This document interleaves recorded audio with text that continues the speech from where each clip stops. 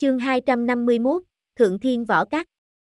Thứ cho ta khó có thể nghe lời, Chu Hằng lắc đầu, thân là một võ giả, hắn không thể nào có ý niệm phó thác tánh mạng cho người khác ở trong đầu, cho dù người nọ là cô cô của hàng Diệp Giao, hừ, quả nhiên dụng ý bất lương, sát khí của hàng Vũ Liên hiển lộ, nếu không phải có mang âm mưu, vì sao không để cho nàng bắt lại.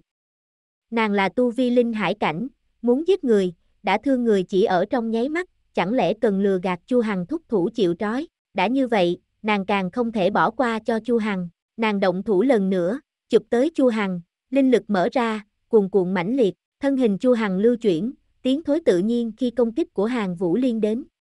Bất quá đây cuối cùng không phải là cách giải quyết, Tấn Vân Lưu quan bộ cực kỳ hao tổn linh lực, không có khả năng duy trì để hắn vận chuyển không ngừng. Võ giả nói chuyện với nhau, tự nhiên là lấy thực lực nói chuyện, đối phương không tin mình, đơn giản là thực lực đưa ra cho hắn thấy không đủ mà thôi. Vậy thì đánh một trận, Chu Hằng quát lên một tiếng lớn, đánh ra một quyền mênh mông cuồn cuộn, đơn giản, trực tiếp, quả đấm phá vỡ không khí, toàn bộ quả đấm cũng biến thành màu hoàng kim. Hiện tại thể chất vệ kim tộc của hắn coi như là hơi có chút thành tựu, toàn lực vận chuyển sẽ tự có một cổ năng lượng phát tán ra ngoài, giống như vận chuyển xích kim huyết mạch, toàn bộ quả đấm có thể nói là không có gì kiên cố mà không phá nổi. Hàng Vũ Liên há lại sẽ sợ Chu Hằng, một quyền này tự nhiên là đón đỡ không tránh, bành, dưới banh kích mạnh mẽ, Chu Hằng nhất thời bị đánh bay ra ngoài, ánh sáng hoàng kim toàn thân mãnh liệt phát ra, giống như làm bằng kim loại, lưu chuyển tạo ra khí tức thần thánh tôn quý, ừm, đôi mắt đẹp của Hàng Vũ Liên mở to,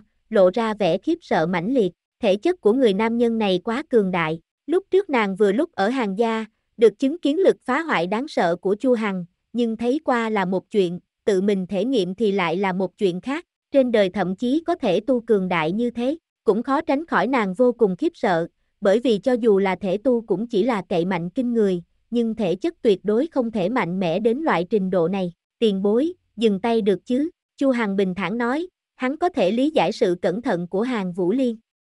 Ban đầu nàng không tiếc tự hủy dung mạo, như thế nào lại dễ dàng tin tưởng người khác, bất quá không có cậy mạnh, hàng Vũ Liên đánh giá, không đếm xỉa tới thể chất có lực phòng ngự đáng sợ kia của Chu Hằng. Chu Hằng cười ha ha, hai đấm rung lên, quanh một tiếng, trên nắm tay bốc cháy lên hai luồng ngọn lửa màu tím, nói, vậy thì đánh tiếp, ánh mắt hàng Vũ Liên không khỏi căng thẳng, bản năng của nàng cảm ứng được tử hỏa này cũng có sinh ra năng lực uy hiếp đối với nàng, người nam nhân này thật đúng là sâu không lường được, nàng biết quả đấm của như hoàng kim kia là xích kim huyết mạch của triệu gia.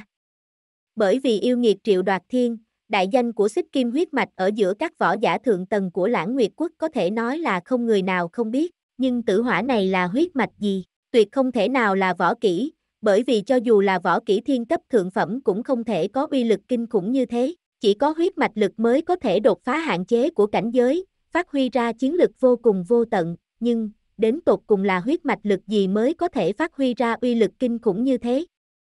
Vượt qua một hai tiểu cảnh giới cũng là cực kỳ không được, huống chi là hai đại cảnh giới, ngươi chỉ muốn biết nơi hạ lạc của Giao Giao, Hàng Vũ Liên mở miệng nói, không sai, Hàng Vũ Liên dừng một hồi, nói, nàng có thể ở Hoàng Nha Thôn, ở phía đông phong Vân Thành, đa tạ tiền bối, Chu Hằng ôm quyền hành lễ, mặc dù không biết tại sao đối phương đột nhiên thông suốt, nhưng cái này không liên quan chuyện của hắn, chỉ cần có thể tìm được hàng diệp giao là được, tại hạ cáo từ, hắn xoay người trở lui, cũng không có đi Vũ Hoa Thành, mà là trực tiếp đi Phong Vân Thành, đưa mắt nhìn Chu Hằng rời đi, hàng Vũ Liên rất nhanh cũng bắn người dựng lên, mục đích đồng dạng là Phong Vân Thành, nếu như Chu Hằng vô tình đến gần chính mình, như vậy khả năng hắn muốn bỏ thuốc vô cùng nhỏ, nhưng có thể loại bỏ sự bất lợi hắn muốn làm đối với mình. Bất quá chuyện này liên quan đến hàng diệt giao, nàng tuyệt đối không thể coi nhẹ, nhất định phải biết chân tướng sự tình, địa điểm là nàng định.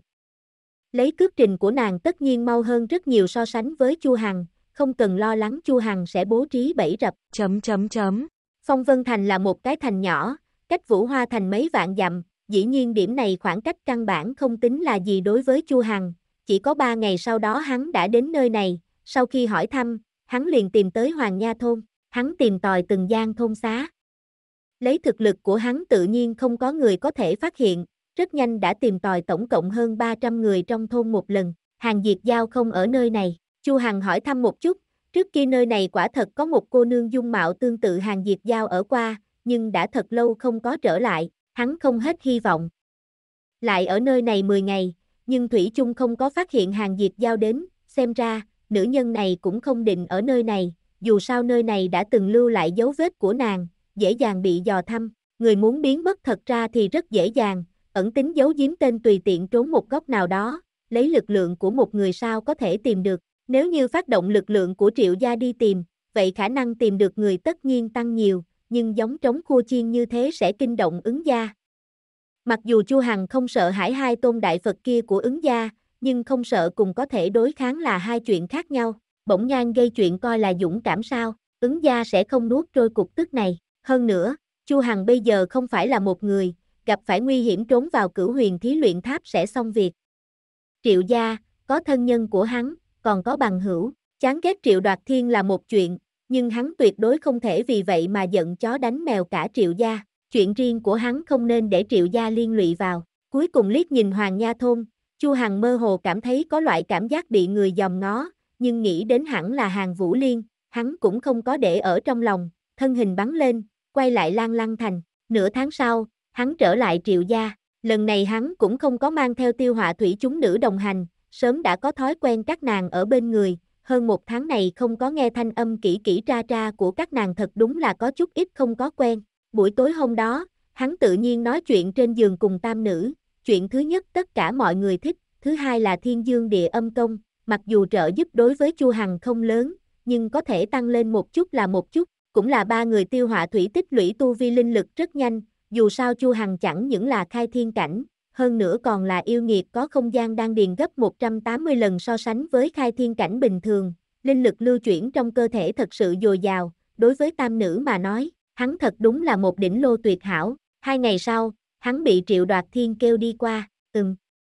Tư cách tiến vào thượng thiên võ cát, sau khi Chu Hằng nghe triệu đoạt thiên nói xong, lộ ra vẻ mặt kỳ quái, thượng thiên võ cát là do một vị cường giả thần anh cảnh của thiên long đế triều sáng chế, mỗi 3 năm cũng sẽ chiêu thu học sinh một lần, ở đó có thể nhận được dạy bảo cực lớn. Triệu Đoạt Thiên giải thích cho Chu Hằng, ta năm đó đã ở Thượng Thiên Võ Cát, mặc dù không có tròn 3 năm, nhưng luôn là có chút thu hoạch. Vị cường giả này có lòng dương cao võ đạo, giúp lòng chỉ bảo hậu bối, đáng giá để tôn kính. Ngươi đi ra sức một chút đi, ba ngày sau Thượng Thiên Võ Cát sẽ phái người đến tiến hành khảo hạch, võ cát do cường giả thần anh cảnh sáng chế. Chu Hằng đi ra khỏi phòng của Triệu Đoạt Thiên, người bận rộn này cũng không có giải thích quá cặn kẽ cho Chu Hằng, vừa lúc Mai Di Hương tìm đến Phong Liên tình chơi, hắn liền gọi quý nữ này lại, hỏi thăm tình huống chi tiết, vị cường giả thần anh cảnh kia tên thật là gì sớm đã không có ai biết, cho dù biết cũng không có ai dám gọi thẳng, thậm chí ở trong đáy lòng cũng không gọi tục danh của vị cường giả này, mà tôn xưng là Dương Thiên Thánh Giả. Vị cường giả võ đạo này chẳng những công tham tạo hóa, trên đời khó gặp địch thủ, trọng yếu hơn là cách làm người của hắn, truyền thụ sở học cả đời cho thế gian, phát huy trình độ võ đạo của cả nhân loại, vì vậy giành được sự kính trọng của tất cả mọi người. Chỉ có hắn mới được tôn xưng là thánh giả, mấy vị cường giả thần anh cảnh khác đều không có đặc biệt như vậy. Dĩ nhiên, cũng không phải là tất cả mọi người đều có tư cách thỉnh giáo võ học vị dương thiên thánh giả này, dù sao thiên hạ nhiều người như vậy, vị thánh giả này cho dù có thể sống hơn mấy vạn năm cũng không đủ. Vị thánh giả này khai sáng thượng thiên võ cát, cách mỗi 3 năm sẽ chọn lựa nhân tài kiệt xuất nhất ở trong vương quốc của cả nhân loại để thu vào võ các tiến hành bồi dưỡng. Trên nguyên tắc mỗi người chỉ có thể nhận được 3 năm dạy bảo, nhưng người có thiên phú kiệt xuất thì có thể tiếp tục lưu lại, trở thành đệ tử chân truyền của vị cường giả này. Nghe nói, hiện tại vị Dương Thiên Thánh giả này tổng cộng có 34 vị đệ tử chân truyền, trong đó có 12 người đạt đến linh hải cảnh, mà có hai người mạnh nhất thậm chí phá vỡ mà vào kết thai cảnh. Đúng là như thế, Mỗi lần Dương Thiên Thánh giả chiêu thu đệ tử vào võ cát, tất cả mọi người sẽ đi bái sư, cho dù là đệ tử của hào môn như ứng, mai, bạch cũng không ngoại lệ, bởi vì bọn họ cho dù có lão tổ kết thai cảnh trấn giữ sau lưng, nhưng đâu có thể nào thời thời khắc khắc chỉ điểm bọn họ.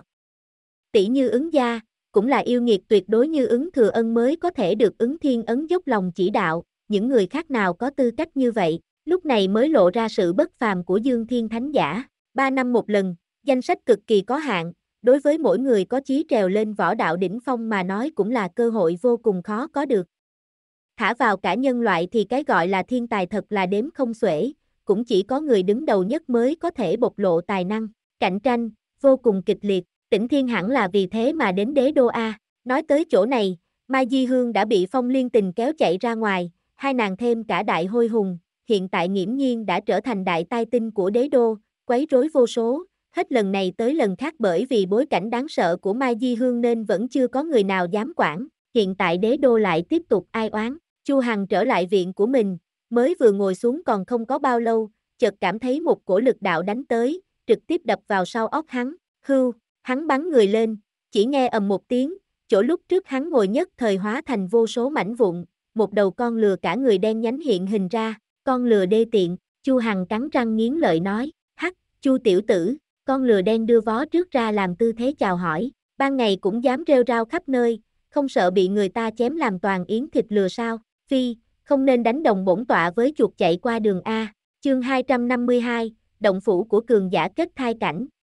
Con lừa đê tiện, ngươi chạy tới làm cái gì, ngứa da nên muốn bị đánh sao?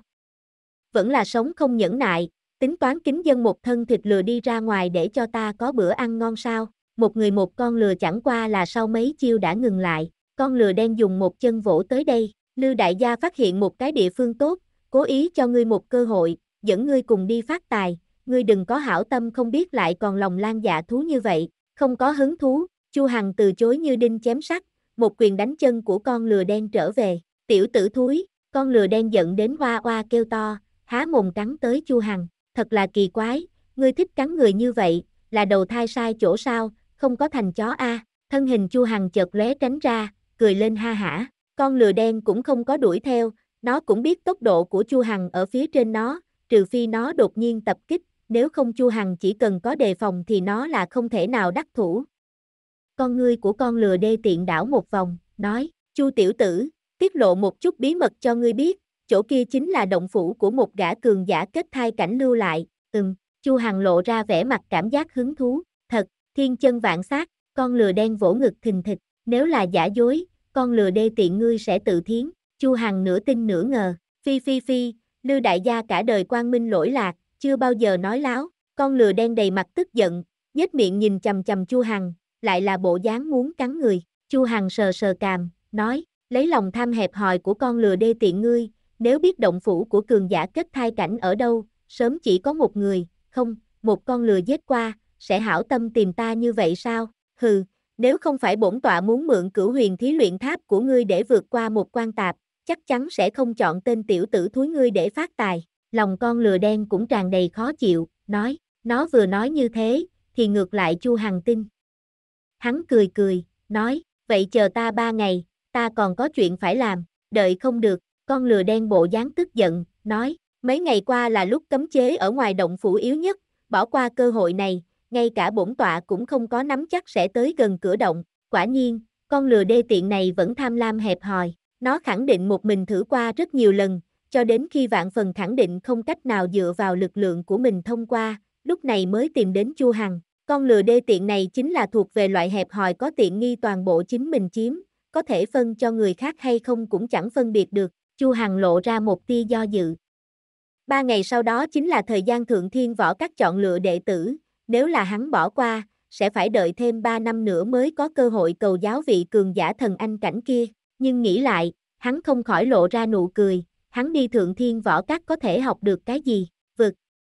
Hắn đã mò tới cánh cửa, nhắm phương hướng, sắp nắm chắc, cho dù là có cường giả thần anh cảnh chỉ điểm, hắn cũng không thể tăng tốc độ nhanh hơn bao nhiêu, đột phá đại cảnh giới, Sơn Hà, Linh Hải tự nhiên không nói chơi, nhưng kết thai cảnh có thể có chút phiền toái, dù sao cũng phải tạo thành thần chích ở trong người, đây là một loại biến hóa nghiêng trời lệch đất, hắn chưa từng trải qua, không biết sẽ làm hắn dừng lại bao lâu, nhưng Triệu Đoạt Thiên đã nhảy vào kết thai cảnh một chân, thần chích dần dần thành, hắn quan sát lợi ích có được từ đối phương, sẽ vượt qua chuyện lắng nghe giảng thuật của bất kỳ một cường giả nào, dù sao một cái chẳng qua là ngôn truyền, nhưng một cái khác cũng là có thể dùng thần ý của mình để quan sát, thể hội, đặc biệt là động phủ của một gã cường giả kết thai cảnh lưu lại, Chu Hằng lập tức quyết định, nói, tốt, chúng ta liền xuất phát, hắn mới vừa trở lại đã muốn ra ngoài, dù sao cũng phải nói với mẫu thân. Tiêu họa thủy bên kia cũng dặn dò một chút, dù sao nữ đầy tớ này hắn vẫn là rất ưa thích, Lan Phi cùng Nam Cung Nguyệt Dung có thể không nhìn, biết được ái tử lại muốn rời đi, Triệu Khả Hân không khỏi vạn phần không nở, nàng cùng Chu Hằng chia lìa 20 năm, thật vất vả mới gặp lại, hết lần này tới lần khác Chu Hằng lại là cả ngày chạy ngược chạy xuôi, làm hại nàng không có quá nhiều thời gian nhìn con. Nàng ép Chu Hằng ở lại một ngày, sáng sớm ngày mai mới lên đường. Buổi tối, Tiêu Họa Thủy, Lan Phi, Nam Cung Nguyệt Dung, Phong Liên Tình, Mai Di Hương đi tới sân của hắn, các nàng cũng rất thích ăn món ăn mà Triệu Khả Hân làm, mà Triệu Khả Hân cũng hết sức vui vẻ nấu cơm cho mọi người ăn, toàn gia vô cùng hòa thuận vui vẻ, vây quanh là mơ ước của nàng, Di, làm sao lại có con lừa thối, Phong Liên Tình liếc mắt liền phát hiện ra con lừa đen, nhất thời hai mắt sáng lên, nàng cũng là cảm thấy hết sức hứng thú đối với hết thảy yêu thú, lúc này liền phát động năng lực của nàng câu thông với con lừa đen, nàng lập tức lộ ra vẻ mặt vừa sợ vừa giận, chạy đến phòng bếp đi lấy thái đao, bổ tới con lừa đen, con lừa thối này lại dám mắng chửi người ta, di, yêu thú còn có thể mắng chửi người, Mai Di Hương cũng lộ ra vẻ mặt kinh ngạc, nàng biết phong liên tình có thể câu thông cùng yêu thú, nhưng yêu thú lại là làm sao học được cách mắng chửi người, truyền đi thông qua thần thức, bổn tọa là thần thú trời giáng, mắng chửi người có cái gì kỳ quái, con lừa đen ưỡn ngực, ngẩng cái đầu lừa lên thật cao, tiểu nha đầu dám nghĩ sẽ nô dịch bổn tọa, Lư đại gia mắng nàng vẫn là chuyện nhỏ, nếu không đã đạp cho nàng đầu đầy pháo, con lừa, con lừa nói chuyện, chúng nữ đồng thời lộ ra vẻ mặt chấn động vô cùng, này này này này, đây không phải là mình nằm mơ không có tỉnh chứ, Mai Di Hương véo mặt ngọc của mình, đau. Phong liên tình lại đánh tiểu hôi một quyền, lại bị một quyền nặng hơn của đối phương đánh cho bay ra ngoài, đau hơn. Tiêu họa thủy sờ giữa chân của mình một cái, không có ẩm ướt vậy là không có nằm mơ, ha ha ha ha, còn không mau quỳ bái bổn tọa, bổn tọa tâm tình tốt, nói không chừng sẽ chúc phúc cho các ngươi. Con lừa đen ngồi ở trong ghế, hai chân sau dẫm ở trên mặt đất, vó trước lại ôm ở trước ngực, bộ dáng vô cùng lớn lối. Di, nó đột nhiên dừng lại, đem ánh mắt chăm chú vào trên người của Tiểu Kim. Con lừa đê tiện, sao vậy? Chu Hằng biết con lừa đê tiện này kiến thức rộng rãi, nếu là lộ ra vẻ kinh ngạc, vậy khẳng định là có phát hiện khó có được. Chu tiểu tử, tiểu miêu này là sủng vật của ngươi sao? Đưa cho bổn tọa, bổn tọa nhất định nuôi nó mập, hai mắt con lừa đen sáng lên, quay đầu lại nói với Chu Hằng, mơ tưởng, phong liên tình chúng nữ trăm miệng một lời, nói, xem ra miệng đê tiện của con lừa đen vừa mở miệng là có năng lực có thể để cho mọi người chán ghét, phong liên tình các nàng vốn là thích tiểu kim vô cùng, tự nhiên không thể nào đẩy nó vào hố lửa, Chu Hằng lại kéo con lừa đen sang một bên, nói, con lừa đê tiện, con hổ kia đến tột cùng là giống gì, bổn tọa làm sao biết, con ngươi con lừa đen không ngừng chuyển, con lừa đê tiện này vừa nhìn đã biết là nói láo, nhưng nếu nó không chịu nói, vậy ép làm sao cũng là vô dụng, con lừa đê tiện này miệng kính như bưng. Bất quá, chỉ cần biết rằng tiểu kim quả thật rất có địa vị là được, có thể trực tiếp lấy Nguyệt Châu làm thức ăn, tự nhiên không thể nào là vật phàm. Cả đêm trôi qua, tiêu họa thủy tam nữ cùng Chu Hằng triền miên mọi cách, ngày mai Chu Hằng lại phải rời đi, tự nhiên phải một lần muốn đủ, cho tận tới khi mệt mỏi ngay cả một ngón tay cũng không thể động đậy, lúc này mới chìm vào giấc ngủ. Ngày hôm sau, Chu Hằng cùng con lừa đen lên đường, con lừa đê tiện, cường giả kết thai cảnh kia là thân phận gì? Một người một lừa cũng là thân pháp cực nhanh, một ngày là có thể tung hoành mấy vạn dặm. Tiện phôi kia tên là Cổ Hà Càng, vô cùng xấu xa. Con lừa đen đằng đằng sát khí nói, cái đuôi cũng dựng lên. Chu Hằng trong lòng vừa động, nói, ngươi gặp qua người này. Phi, Tên khốn kiếp kia chính là hóa thành cho bổn tọa cũng có thể nhận ra được, con lừa đen cười quái dị nói, ai bảo hắn đắc tội bổn tọa, bổn tọa sẽ tịch thu hang ổ của hắn. Chu Hằng kéo con lừa đen lại, nghiêm nét mặt nói, con lừa đê tiện, ngươi đến tột cùng là người thời đại nào? Cái vấn đề này, hôm nay hắn nhất định muốn biết rõ ràng, con ngươi con lừa đen đổi tới đổi lui, tự hồ lại muốn nhìn trái phải mà nói hắn, hoặc là đi tiểu chạy trốn để thoát khỏi vấn đề này. Nhưng thấy vẻ mặt tuyệt không bỏ qua kia của Chu Hằng, nó thử nhe răng, nói, bổn tọa ngủ lâu như vậy, không nhớ được rõ ràng, đại khái, có lẽ, có thể là mấy vạn năm trước, Chu Hằng nhướng mày, nói, con lừa đê tiện, ngươi thật sự sống lâu như vậy, cho dù là cường giả hóa thần cảnh cũng chỉ có thọ nguyên không tới 5.000 năm, con lừa đê tiện này lại nói mình là nhân vật mấy vạn năm trước, bảo người ta tin tưởng như thế nào, Chu tiểu tử, cái thế giới này có vô số bí mật ngươi không biết, chẳng qua là bây giờ tầng thứ của ngươi quá thấp, không có tư cách đụng vào, con lừa đen nghiêm nghị nói, thái độ nghiêm túc khó có được, cần cảnh giới gì mới đủ tư cách, Chu Hằng đối với cái điểm này cũng là không có hoài nghi, ít nhất kết thai cảnh, yêu cầu này thật đúng là không thấp a, bất quá chỉ có kết thai cảnh mới có thể kết thành thần chích, thẳng vào địa tâm, thăm dò toàn bộ đại lục, từ điểm đó mà nói, yêu cầu kết thai cảnh không cao. Chu tiểu tử, không bao lâu nữa cả thế gian sẽ xuất hiện hỗn loạn lớn, không có đủ thực lực sẽ hôi phi yên diệt. Lời nói của con lừa đen có chút sâu xa, chỉ có đạt tới kết thai cảnh, ngươi mới có một đường sinh cơ, thậm chí lấy hạt thóc trong lửa, mưu đoạt cơ duyên nghịch thiên. Con lừa đê tiện, bộ dáng này của ngươi thật đúng là làm cho người ta không có quen. Phi, bổn tọa coi ngươi là bằng hữu, nên có ý nhắc nhở ngươi, thật là không biết người tốt. Đúng rồi, nơi ở trước kia của ngươi chính là cách niên đại của vạn cổ đại đế rất xa sao. Hắc hắc, bổn tọa chính là tận mắt nhìn thấy vạn cổ đại đế, con lừa khoác lác, không tin thì quên đi, bổn tọa là thiên địa tường thụy, vạn dân kính ngưỡng, cần một tên tiểu tử thúi như ngươi để chứng minh sao, da mặt ngươi thật là dày tới mức thái quá, phi, bổn tọa chính là nói thật, năm ngày sau đó, bọn họ đi tới phía trước một vách đá, con lừa, ngươi sẽ không nói chúng ta phải từ nơi này nhảy xuống chứ, Chu Hằng quay đầu, hỏi, hắn mặc dù là tu vi linh lực khai thiên cảnh, còn có khí lực của pháp khí sơn hà cảnh, nhưng là từ địa phương cao như vậy té xuống, chết có thể sẽ không, nhưng tuyệt đối sẽ bị thương nặng, phải có lòng tin với chính mình, con lừa đen nhếch miệng cười một tiếng, bốn vó bước ra, bay ra khỏi vách đá, một đầu rơi xuống, sức hút của nơi này vô cùng lớn, thân thể con lừa đen trong nháy mắt hóa thành một đạo sao rơi rồi biến mất, Chu Hằng bất chấp, một cước bước ra, hưu, thân hình của hắn gia tốc trong nháy mắt, chương 253, độc linh oa.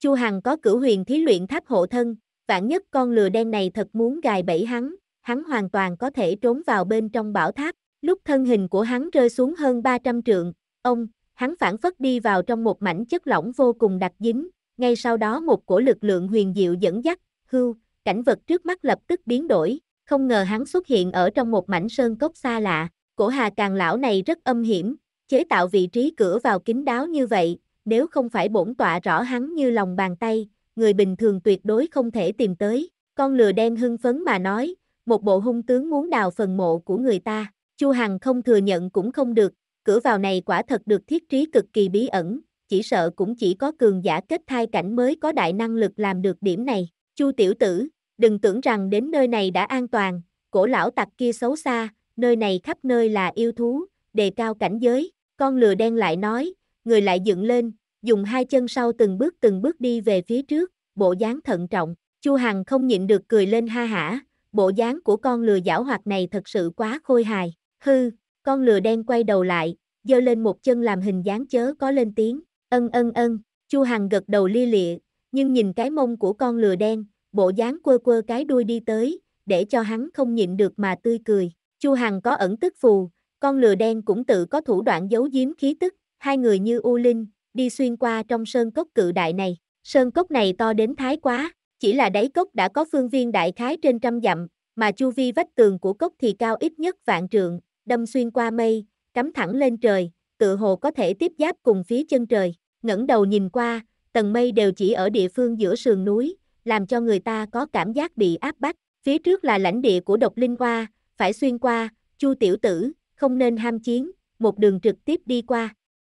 Phía trước nữa chính là lãnh địa của hổ đầu mãn, độc linh oa không dám đuổi theo, con lừa đen nói, Chu Hằng suy nghĩ một chút, nói, con lừa đê tiện, ngươi không phải nói những ngày qua là lúc cấm chế yếu nhất, ta làm sao không nhìn thấy cấm chế gì, con lừa đen ngửa đầu nhìn bầu trời, căn bản không có cấm chế có phải hay không, Chu Hằng giận dữ, con lừa đê tiện này thật đúng là đê tiện A, vì lừa gạt hắn đi ra ngoài sớm một chút, thế nhưng nói ba hoa chích chòe, hắc hắc, có cấm chế, chúng ta đây không phải là còn không có tiếng vào động phủ của lão tặc phôi đó sao, khóe miệng con lừa đen cười nói, lộ ra hai hàng răng trắng, thật ra thì Chu Hằng cũng không có quá để ý danh ngạch của Thượng Thiên Võ Cắt ở trong lòng, chẳng qua là khó chịu vì bị con lừa đê tiện này lừa mà thôi, hơn nữa nếu là đã tới, còn dây dưa ở vấn đề này cũng không có chút ý nghĩa nào, hắn hỏi, những con độc linh hoa kia là cảnh giới gì? Đại bộ phận là khai thiên cảnh, nhưng có vài đầu oa vương là sơn hà cảnh, con lừa đen nói, không cần thiết truyền đấu cùng những yêu thú râu ria này, mục tiêu của chúng ta là phải dọn sạch của cải của cổ lão tặc, không, chúng ta phải một đường dết đi qua, tay phải chu hằng rung lên, xuất hiện thêm đoạn kiếm màu đen, đây cũng là cơ hội tăng tu vi linh lực lên cực kỳ khó có được, thấy hắc kiếm, ánh mắt con lừa đen nhất thời sáng lên, chu tiểu tử, ngươi nhìn bổn tọa một thân đen, kiếm này cũng là một thân đen, vẫn là đưa cho bổn tọa đi, xứng đôi nhất, nó chảy nước miếng đầm đìa. con lừa đê tiện này rất nhạy cảm đối với đồ tốt. Cút, Chu Hằng đi trước, không có đi ra bao xa, phía trước liền xuất hiện một mảnh chỗ trũng, thủy thảo cao chừng 3-4 trượng, căn bản là đại thụ xanh biếc. Nhưng đây đúng là thủy thảo, rễ cây non mềm, đón gió lay động, không hề chắc chắn giống cây cối. Hoa, trong đất trũng thỉnh thoảng có tiếng ếch ộc vang lên. Chu Hằng nghe hướng gió, lập tức nhắm một phương hướng, bay vút đi. Tiểu tử thúi này cần gì phải gây sự với mấy con cóc này. Con lừa đen vương chân ra gãi đầu một cái, trăm điều khó hiểu. Sưu sưu, Chu Hằng lên xuống mấy cái, đã đi tới trước một cái ao nước, chỉ thấy một đầu con ếch lớn chừng con né con.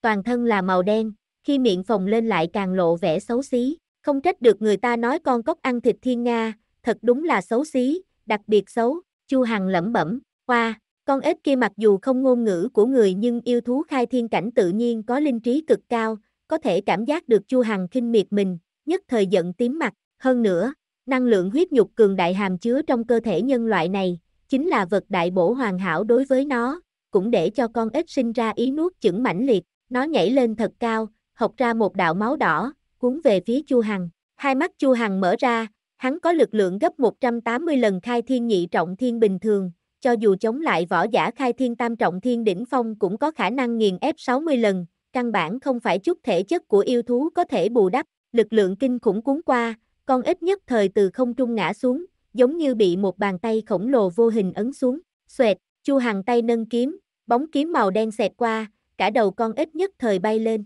hoa, hoa, hoa, nhất thời, cả chỗ lõm đầy nước cũng sôi trào, chừng trăm con ếch lớn nhảy tới đây, bọn chúng bị vây ở trong tuyệt cốc này không cách nào rời đi, nhưng cũng không trở ngại khi bọn chúng lấy cường đại lực lượng trở thành chủ nhân của đầm nước này, cả sơn cốc cũng bị mấy chủng tộc yêu thú cường đại phân chia mà trị, nước giếng không phạm nước sông, hiện tại lại có ngoại địch dám vào, những con ếch lớn này tự nhiên là giận dữ. Trong tiếng kêu của con ếch, những con ếch này rối rít phát khởi công kích về Chu Hằng, bọn chúng cũng có thể cảm ứng được huyết khí vô cùng dồi dào trong cơ thể người này, đối với yêu thú mà nói đây quả thực là một hỏa lò ngất trời, vật đại bổ, nhất định phải ăn. Sát khí trong mắt Chu Hằng tăng mạnh, tâm niệm vừa động, linh lực chuyển động, lực lượng của hắn chỉ có thể thi triển gần người, nhưng linh lực cũng không bị hạn chế này, cho dù là tầm xa, linh lực vô cùng kinh khủng kia vẫn là có thể phát huy ra uy lực đáng sợ, bành, bành, bành, tất cả con ếch lớn bị hắn đè ép xuống từ giữa không trung, cái bụng hướng lên trời, nằm ở trong vũng nước, phát ra tiếng kêu to tức giận mà bất đắc dĩ, Chu Hằng không chút lưu tình, hắc kiếm vạch ra, tận tình thu hoạch mạng của con ếch, hoa, hoa, ở bên trong tiếng kêu điếc tai của con ếch, ba con ếch rõ ràng là lớn nhất xuất hiện, giống như một núi nhỏ, tản mát ra khí thế đáng sợ, sơn hà cảnh, nhưng hắn nghe răng cười một tiếng, ngay từ lúc ở đầm lầy giả hỏa hắn đã đánh lui một con cốc lớn sơn hà cảnh, hiện tại mặc dù nhiều hơn hai con, nhưng hắn cũng có thêm tử hỏa dị biến, chiến lực tăng vọt rất nhiều, tới đây đánh một trận, Chu Hằng cười to nói, qua, yêu thú có lẽ không nói mặt mũi, tự nhiên là đồng loạt lên, bọn chúng cho rằng lấy đông người để lấn ác mới là phương pháp săn bắt vương đạo, Chu Hằng gào to một tiếng, triển khai tấn vân lưu quan bộ, hắc kiếm xoáy tròn, khai hỏa toàn bộ chiến lực, ba đầu độc linh oa này thật đúng là hết sức cường đại, có hai đầu trong đó đạt đến Sơn Hà Tam Trọng Thiên Đỉnh Phong.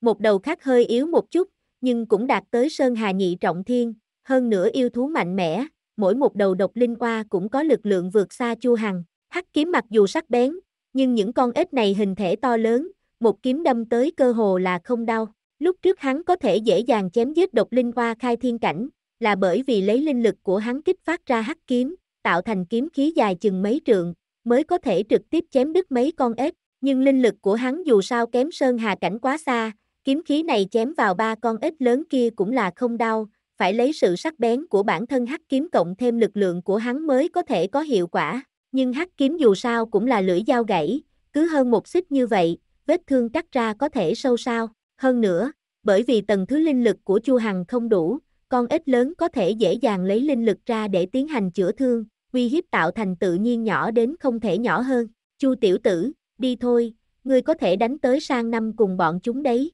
Con lừa đen ở một bên ngáp, nói, Chu Hằng có tốc độ cực nhanh, mà ba đầu độc linh oa lại chiếm cứ ưu thế tuyệt đối về lực lượng, ở trong thời gian ngắn căn bản không phân ra thắng bại, không cần thiết, tay trái Chu Hằng rung lên, xuất hiện của viên hạt châu màu tím, tử lôi châu, có thể sinh ra uy hiếp đối với cường giả linh hải cảnh của, ném, ầm, ầm, ầm, Chu Hằng liên tiếp ném ra ba miếng tử lôi châu, âm thanh nổ thật to nhất thời vang dội cả sơn cốc, bùn đất tung bay, chỉ thấy ba con ếch lớn đều bị chấn cho bụng hướng lên trời, chỉ còn lại có nửa sức lực, con ngươi của con lừa đen cũng trợn ra, không ngừng dậm chân, chảy nước miếng lẩm bẩm, biết điều một chút. Thứ tốt. Thật là đồ tốt. Lại là sức thiên lôi, Chu Hằng bay vọt tới, đẩy hắc kiếm ra, chém ra mười mấy kiếm. Một đầu độc linh hoa cuối cùng bị hắn chém đứt. Hắn tiếp tục, ba đầu độc linh hoa sơn hà cảnh trong nháy mắt thay đầy đất, đáng tiếc, nguyên lôi bảo trận cũng bị hàng diệt giao mang đi, trên người hắn chỉ có 12 viên tử lôi châu, dùng một viên sẽ ít đi một viên. Nhưng bảo vật che giấu để làm chi, tự nhiên là phải dùng để tăng cường thực lực của mình, dù sao nó cũng không khác thủ đoạn tự vệ. Ba thủ lĩnh Sơn Hà Cảnh vừa đi, cả bầy ít nhất thời tan rã, Chu Hằng triển khai tấn vân lưu quan bộ, rất nhanh đã tàn sát cả bầy ếch. Chu tiểu tử, ngươi thật đúng là lòng dạ độc ác, con lừa đen quyệt miệng nói, hắc hắc, buổi tối có muốn ăn thịt lừa chưng hay không? Ừm, hôm nay sao không tệ. Chu Hằng tiến vào trong cửu huyền thí luyện tháp, luyện hóa tinh khí sinh mệnh mà hắc kiếm hấp thu được, chẳng qua là nửa ngày, tu vi của hắn đã đẩy mạnh đến khai thiên nhị trọng thiên hậu kỳ. Nếu là có một bầy độc linh hoa nữa, hắn có thể trực tiếp phá khai thiên tam trọng thiên. Con lừa, hổ đầu mãn kia số lượng là bao nhiêu? Ít hơn so với độc linh hoa, bất quá sơn hà cảnh có tới năm đầu, vậy tiếp tục giết đi qua. Chu Hằng đằng đằng sát khí nói, loài người cùng yêu thú vốn là trời xanh đối địch, là con mồi của nhau, nên không cần nói tới lòng dạ độc ác. Một người một lừa tiếp tục đi tới, rất nhanh liền tiến vào lãnh địa của hổ đầu mãn. Hổ đầu mãn, danh như ý nghĩa, đầu hổ thân rắn, lực lớn vô cùng, là một trong bá chủ trong sơn cốc. Loại yêu thú này khả năng sinh đẻ có thể xa xa không giống độc linh hoa, tổng cộng chỉ có hơn 30 con, nhưng thực lực tổng thể lại cường đại hơn, có năm đầu sơn hà cảnh, vì vậy từ trước đến giờ độc linh hoa không dám phạm giới, ngược lại thỉnh thoảng sẽ bị hổ đầu mãn nuốt trọn vài đầu. Chu Hằng cầm trường kiếm tiến vào, chương 254, khởi phượng thảo. Nếu so số lượng hổ đầu mãn ít hơn độc linh hoa, nhưng về trình độ khó đối phó thì lại hơn xa, Chu Hằng dùng hết 3 ngày mới xử lý toàn bộ những con yêu thú này, mà cũng phải tiêu hao mất 5 viên tử lôi châu, làm cho con lừa đen đau lòng không thôi, con lừa. Ngươi đau xót cái gì, của ngươi chính là của bổn tọa, bổn tọa, chính là của bổn tọa, đương nhiên đau lòng, đối mặt với tính vô sĩ của con lừa đê tiện này, Chu Hằng thật không có lời nào để nói, chỉ có thể vươn một cây ngón giữa tỏ vẻ vô cùng kinh bỉ. Con lừa đen thì lại lắc lắc cái mông về phía hắn, vung vẩy cái đuôi đồng dạng tỏ vẻ kinh miệt. Sau khi luyện hóa xong tinh khí sinh mệnh của hổ đầu mãn, Chu Hằng cách khai thiên tam trọng thiên chỉ có một bước xa. Chu tiểu tử. Chúng ta lại đi làm một khoản mua bán lớn, con lừa đen thần thái phấn chấn, nói, mua bán cái gì? Đi tiếp tới phía trước chính là địa bàn của ba hình thú, tên to xác kia đang canh chừng một gốc cây khởi phượng thảo, sắp thành thục, con lừa đen vừa nói, miệng vừa chảy đầy nước miếng, nói rõ hơn một chút xem. Cũng không phải mỗi người đều là nhân vật lớp người già sống mấy vạn năm giống như con lừa đê tiện ngươi này, Chu Hằng trừng mắt một cái nói, xì, con lừa đen không cam lòng chịu thiệt, trước trừng mắt nhìn Chu Hằng một cái, mới nói, khởi phượng thảo cũng đúng là đồ tốt đấy, phải qua 10 vạn năm mới có thể thành thục một lần, kết quả có thể giúp cho cường giả linh hải cảnh trực tiếp phá vỡ mà vào kết thai cảnh. Chu Hằng đầu tiên là ánh mắt sáng ngời, lập tức liền sinh nghi hỏi, cây khởi phượng thảo này còn chưa đủ năm phải không? Còn kém một chút, kém bao nhiêu? Không lâu, không lâu là bao lâu? Ách! Cũng chỉ chừng hơn vạn năm, Chu Hằng thiếu chút nữa tung một đấm đánh tới, hơn vạn năm mà gọi là không lâu dù là cường giả tuyệt thế hóa thần cảnh cũng chỉ có thể sống không đến 5.000 năm, Chu tiểu tử. Vậy là ngươi không hiểu rồi, con lừa đen nghiêm trang nói, khởi phượng thảo tuy rằng sau khi thành thục dùng hiệu quả tốt nhất, nhưng dù là linh thảo vừa mới nảy mầm cũng có thể có công hiệu vô cùng to lớn. Khởi phượng thảo 9 vạn năm đã kết thành linh quả, tuy rằng hiệu quả chưa hoàn toàn thành thục, tuy nhiên đối với chúng ta mà nói mới vừa đúng thời điểm, con lừa đen nghiêm trang nói, hai chúng ta chia đều, khẳng định có thể tăng lên tu vi một cấp bậc. Nói không chừng ngươi có thể trực tiếp phá vỡ mà vào sơn hà cảnh, Chu Hằng gật gật đầu, nói, con ba hình thú kia là tu vi gì, linh hải cảnh. Đỉnh phong, con lừa đen biểu môi, nói, thật ra nó cũng không sống chờ được lâu như vậy, bản thân đã là linh hải cảnh đỉnh phong, không phải khởi phượng thảo thành thục cũng không có mảy may ưu đãi đối với nó. Vậy mà cứ tử thủ không bỏ. Chiếm hầm cầu mà không xả, nếu bổn tọa còn có tu vi năm xưa thì đã sớm một chân đá chết nó rồi. Linh hải cảnh đỉnh phong A, Chu Hằng lộ ra vẻ thận trọng, yêu thú như vậy cũng không yếu hơn bao nhiêu so với triệu đoạt thiên, chỉ là nó không có nắm giữ vực, hắn hẳn có đủ sức tự vệ, nhưng muốn chiến thắng yêu thú như vậy là tuyệt đối không có khả năng. Tuy nhiên nếu muốn cướp thức ăn trong miệng hổ vẫn còn có chút hy vọng, bởi vì một người một con lừa nhưng đều không phải là khai thiên cảnh, sơn hà cảnh tầm thường, cần có một kế hoạch, Chu Hằng nói, ồ, không phải ngươi trước nay không có đầu óc, chỉ biết vung lên tay quyền tiến tới hay sao, con lừa đen treo cợt nói, con lừa đê tiện. Có phải ngươi không bị mắng lấy làm khó chịu hay không? Ha ha ha.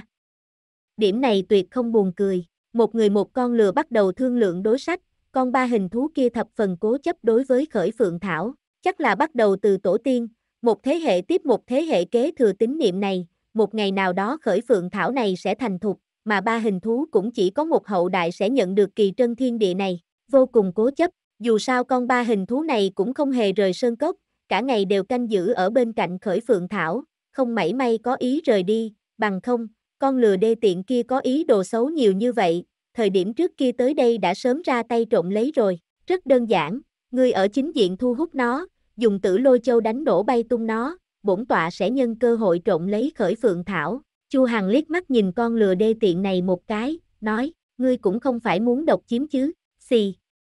Bổn tọa là hạng con lừa như vậy sao, ngươi vốn chính là vậy, sau khi một người một con lừa thương lượng xong đối sách, lập tức phân ra hành động. Chu Hằng cũng không sợ con lừa đê tiện này chơi xấu ăn mảnh, bởi vì muốn xông vào động phủ của cổ hà càng nhất định phải dựa vào cửu huyền thí luyện tháp, bằng vào tu vi của con lừa đen hiện giờ là không vào ra được, bọn họ tiếp tục đi tới, rất nhanh liền đi tới cuối sơn cốc. Có một cửa vào sơn động, bên cạnh đang nằm phục một đầu yêu thú to lớn, toàn thân gần như trong suốt, chỉ có thời điểm nó nhích động thân mình, mới thấy phát ra từng sóng gợn giống như nước loãng. Tổ tiên của con ba hình thú này chính là thú giữ sơn môn của cổ Hà Càng, kế thừa qua các đời, Thủy chung luôn bảo vệ nơi này, mà khởi phượng thảo kia chính là cổ hà càng ban thưởng cho ba hình thú, để một ngày nào đó một hậu đại của nó có thể kết thành thần chích, phá vỡ mà vào kết thai cảnh. Chu Hằng cười hắc hắc, nói, nói như vậy, điều chúng ta làm không phải là hơi thất đức sao, xì. Khởi phượng thảo cũng không phải của cổ hà càng, bất quá là bị hắn phát hiện sớm một bước mà thôi, nếu như thế đều có thể làm của riêng, vậy thì linh thảo bổn tọa nhìn thấy khắp thiên hạ, không lẽ đều là của bổn tọa ư, lên, vù, Chu Hằng bắn vọt tới, cũng không nói không rằng chỉ là tung một quyền đánh ra, linh lực tràn ra cuồn cuộn, cùng phong rít gào giận dữ, rào, ba hình thú phát ra tiếng gầm phẫn nộ, tiếng gầm chấn động vang rền, hiển lộ ra hết uy thế của linh hải cảnh, bốt, bốt, bốt, quần áo cả người Chu Hằng có ít nhất một nửa rách nát hóa thành bươm bướm bay đi, trong mắt mũi đều trào ra máu tươi. Ở dưới uy lực của một tiếng trống to này hắn chịu thiệt thòi. Cũng may thể chất của hắn vô cùng mạnh mẽ, nếu không dưới tiếng trống này nếu đổi là một khai thiên cảnh thông thường ắt phải trực tiếp bị chấn thành mảnh vụn, thấy một kích không thể giết chết một con kiến nho nhỏ, ba hình thú lộ ra vẻ nghi hoặc, nhưng cũng không có để ở trong lòng, dù sao nó quá cường đại, mà thủ hộ nơi đây vừa là trách nhiệm, vừa là quan hệ tới ích lợi của con cháu đời sau của nó, nên nó tuyệt đối sẽ không nhúc nhích chút nào. Việc này đã trở thành cố chấp trong huyết mạch kế thừa các thời đại, nó lười biếng quỳ rạp trên mặt đất, không có tâm tình để ý tới Chu Hằng. Đạt tới linh hải cảnh đỉnh phong gần như có thể hoàn toàn dùng linh lực làm thức ăn, không cần lo vấn đề đói khát, hơn nữa nó chỉ có hình thành thần chích mới có thể tiếp tục tăng lên lực lượng, hiện tại dù cho nó nhiều linh thạch, linh thảo hơn nữa đều không có giúp ích gì. Chu Hằng cười một tiếng, lại chụp ra tiếp một chưởng, rào, ba hình thú nổi giận, trình độ khai hóa linh trí của nó hoàn toàn không thể so sánh với con lừa đen, lập tức lại phát ra một tiếng rít gào, thân thể rung lên, một lực lượng kinh khủng cuốn về hướng Chu Hằng. Chu Hằng triển khai tấn vân lưu quan bộ, không ngờ tốc độ còn nhanh hơn so với luồng linh lực, vù vù vù, trong nháy mắt hắn vội vàng thối lui ngoài trăm trượng, thoát khỏi công kích cự ly xa nhất của linh lực, rào, ba hình thú lại phát ra một tiếng rít gào, nhưng quan niệm thâm căn cố đế khiến nó không có mảy may ý truy kích, con lừa đê tiện nói không sai, Chu Hằng vốn không muốn lãng phí mấy viên tử lôi châu còn sót lại, nhưng muốn đạt tới mục đích nhất thiết phải trả giá, chỉ có thể liều mạng, tay phải hắn vừa lật, trong tay lập tức nhiều ra một hạt châu màu tím,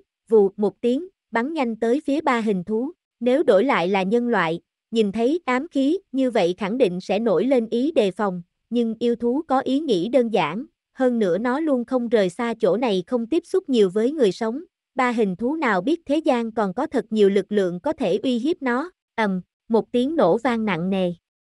Ba hình thú tùy ý đánh ra một kích, liền kích nổ tử lôi châu. Lập tức lôi điện lực màu lam mênh mông điên cuồng đánh tới, chấn cho con ba hình thú kia bay bắn lên.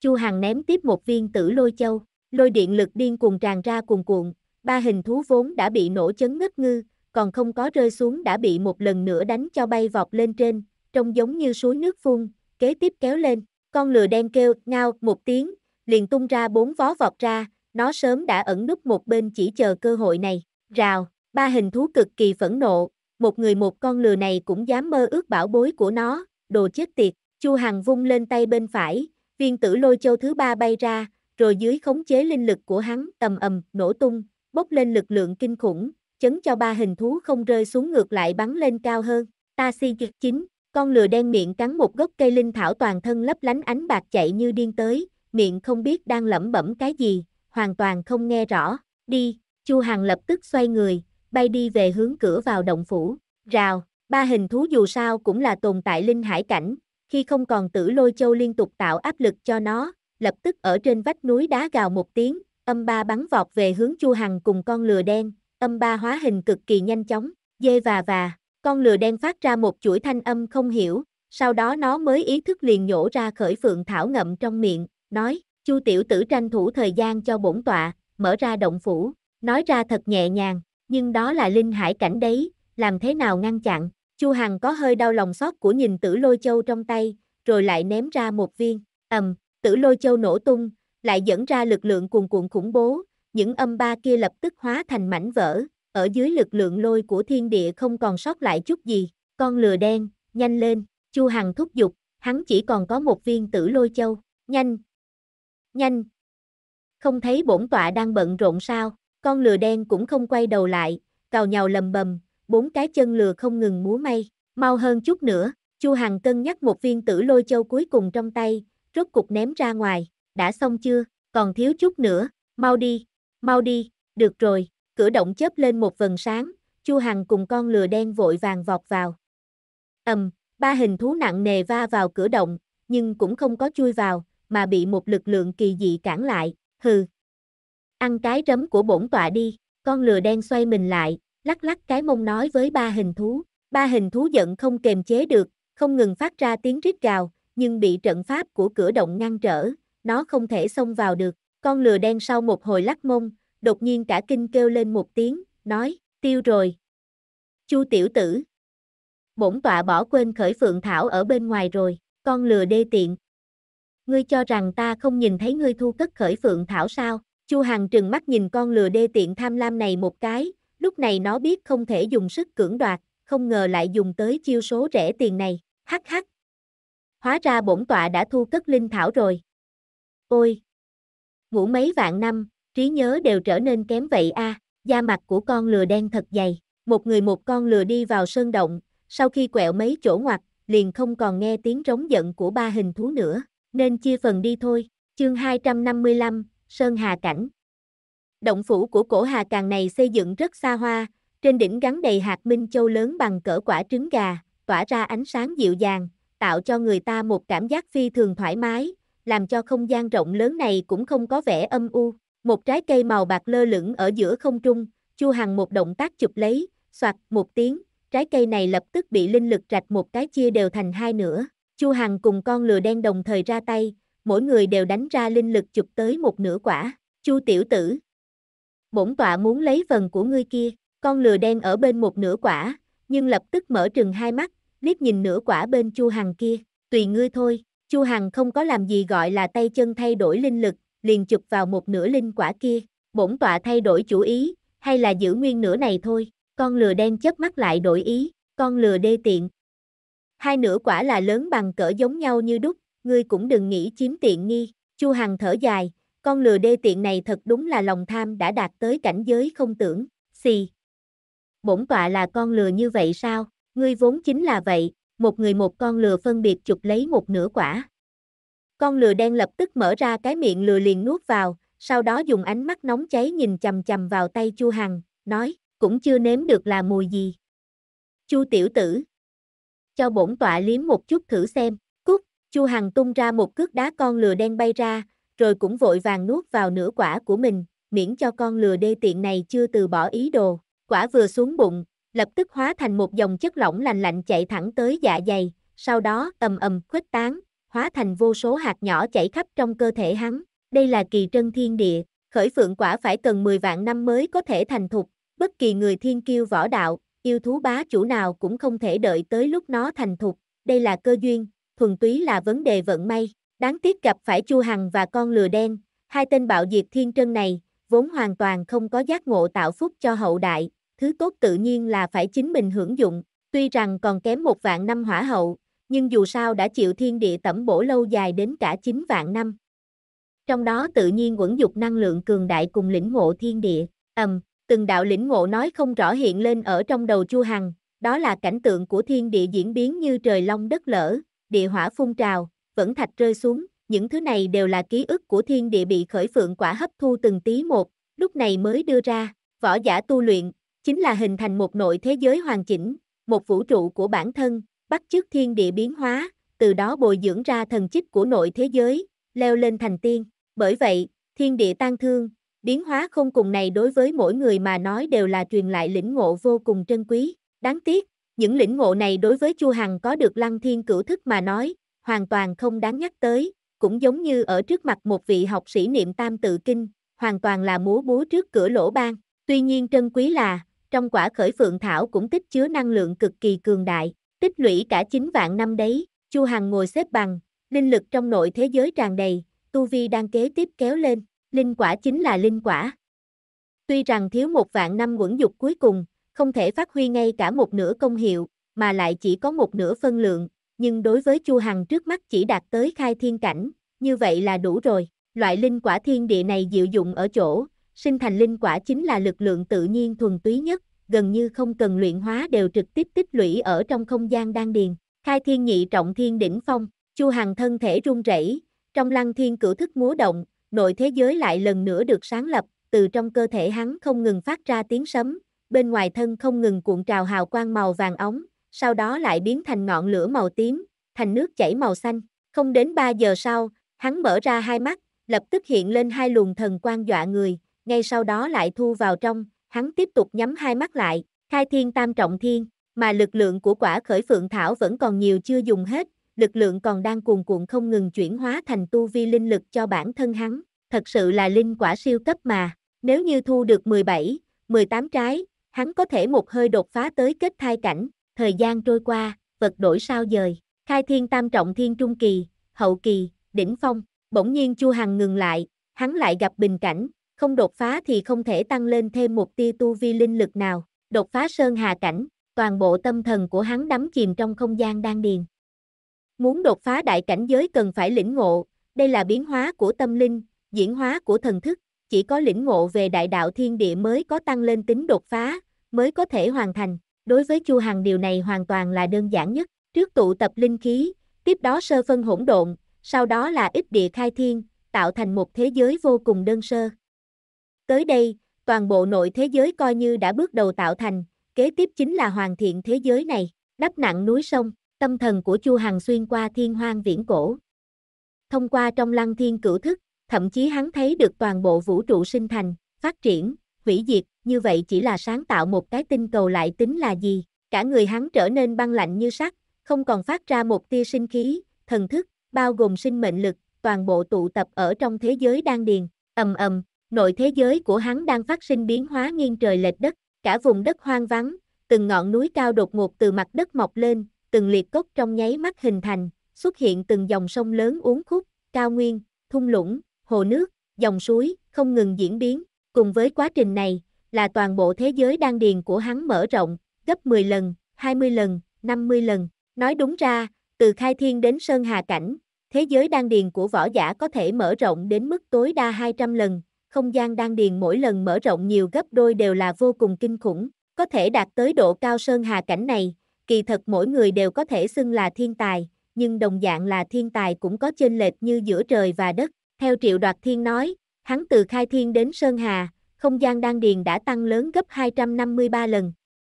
Mà theo hắn phỏng chừng, ứng thừa ân hẳn là chừng hơn 240 lần, mỗi lần đột phá đều có chút khác biệt, bởi vậy đồng dạng là linh hải tam trọng thiên đỉnh phong, triệu đoạt thiên tự tin lực lượng của hắn có thể thắng hơn ứng thừa ân một bậc, mà Chu Hằng, không gian đan điền của hắn tăng lên tròn 300 lần, nên biết rằng không gian đan điền của hắn vốn đã lớn hơn gấp 160 lần so với khai thiên cảnh thông thường, nếu dựa trên cơ sở mở rộng gấp 300 lần này, thì phải gian nan biết bao, nhưng Chu Hằng làm được rồi, lăng thiên cửu thức, khai thiên lập địa, có thể chém ra một cái thế giới, sơn hà cảnh, ầm, linh lực thiên địa điên cuồng chen nhau ập tới, giống như đàn ngựa khát nước suối tiến vào trong cơ thể hắn, củng cố cảnh giới của hắn, nội thế giới của hắn, bầu trời bao la bát ngát.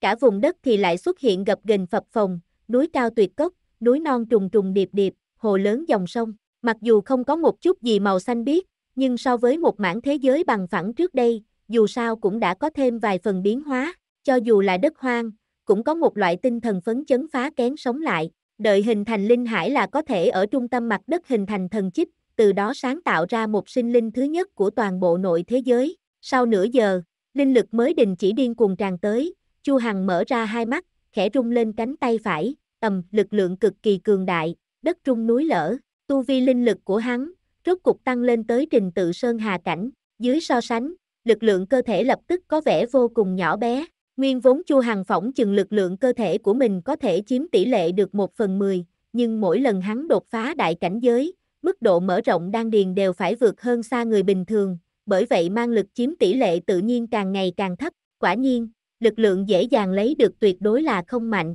cảnh giới linh lực tăng lên quá chậm, nhưng lực lượng cơ thể tăng lên lại rất đơn giản, chỉ cần luyện hóa một lượng lớn kim loại là được.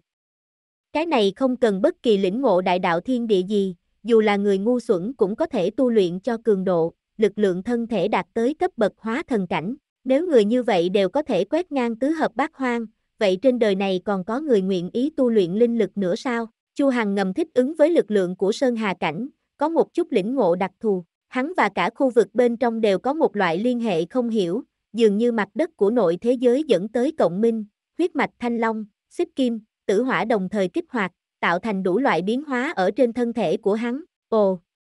Chu tiểu tử! Huyết mạch ngọn lửa của ngươi kia ta luôn cảm thấy đã từng gặp ở đâu đó, chỉ là không quá giống. Con lừa đen uốn éo cái mông đi tới, trên thân tản ra khí tức vô cùng cường đại. Linh hải cảnh, Chu Hằng trợn mắt rõ to, nói, con lừa. Tu vi của ngươi tăng lên không ngờ tốc độ còn nhanh hơn so với ta, đó là tự nhiên.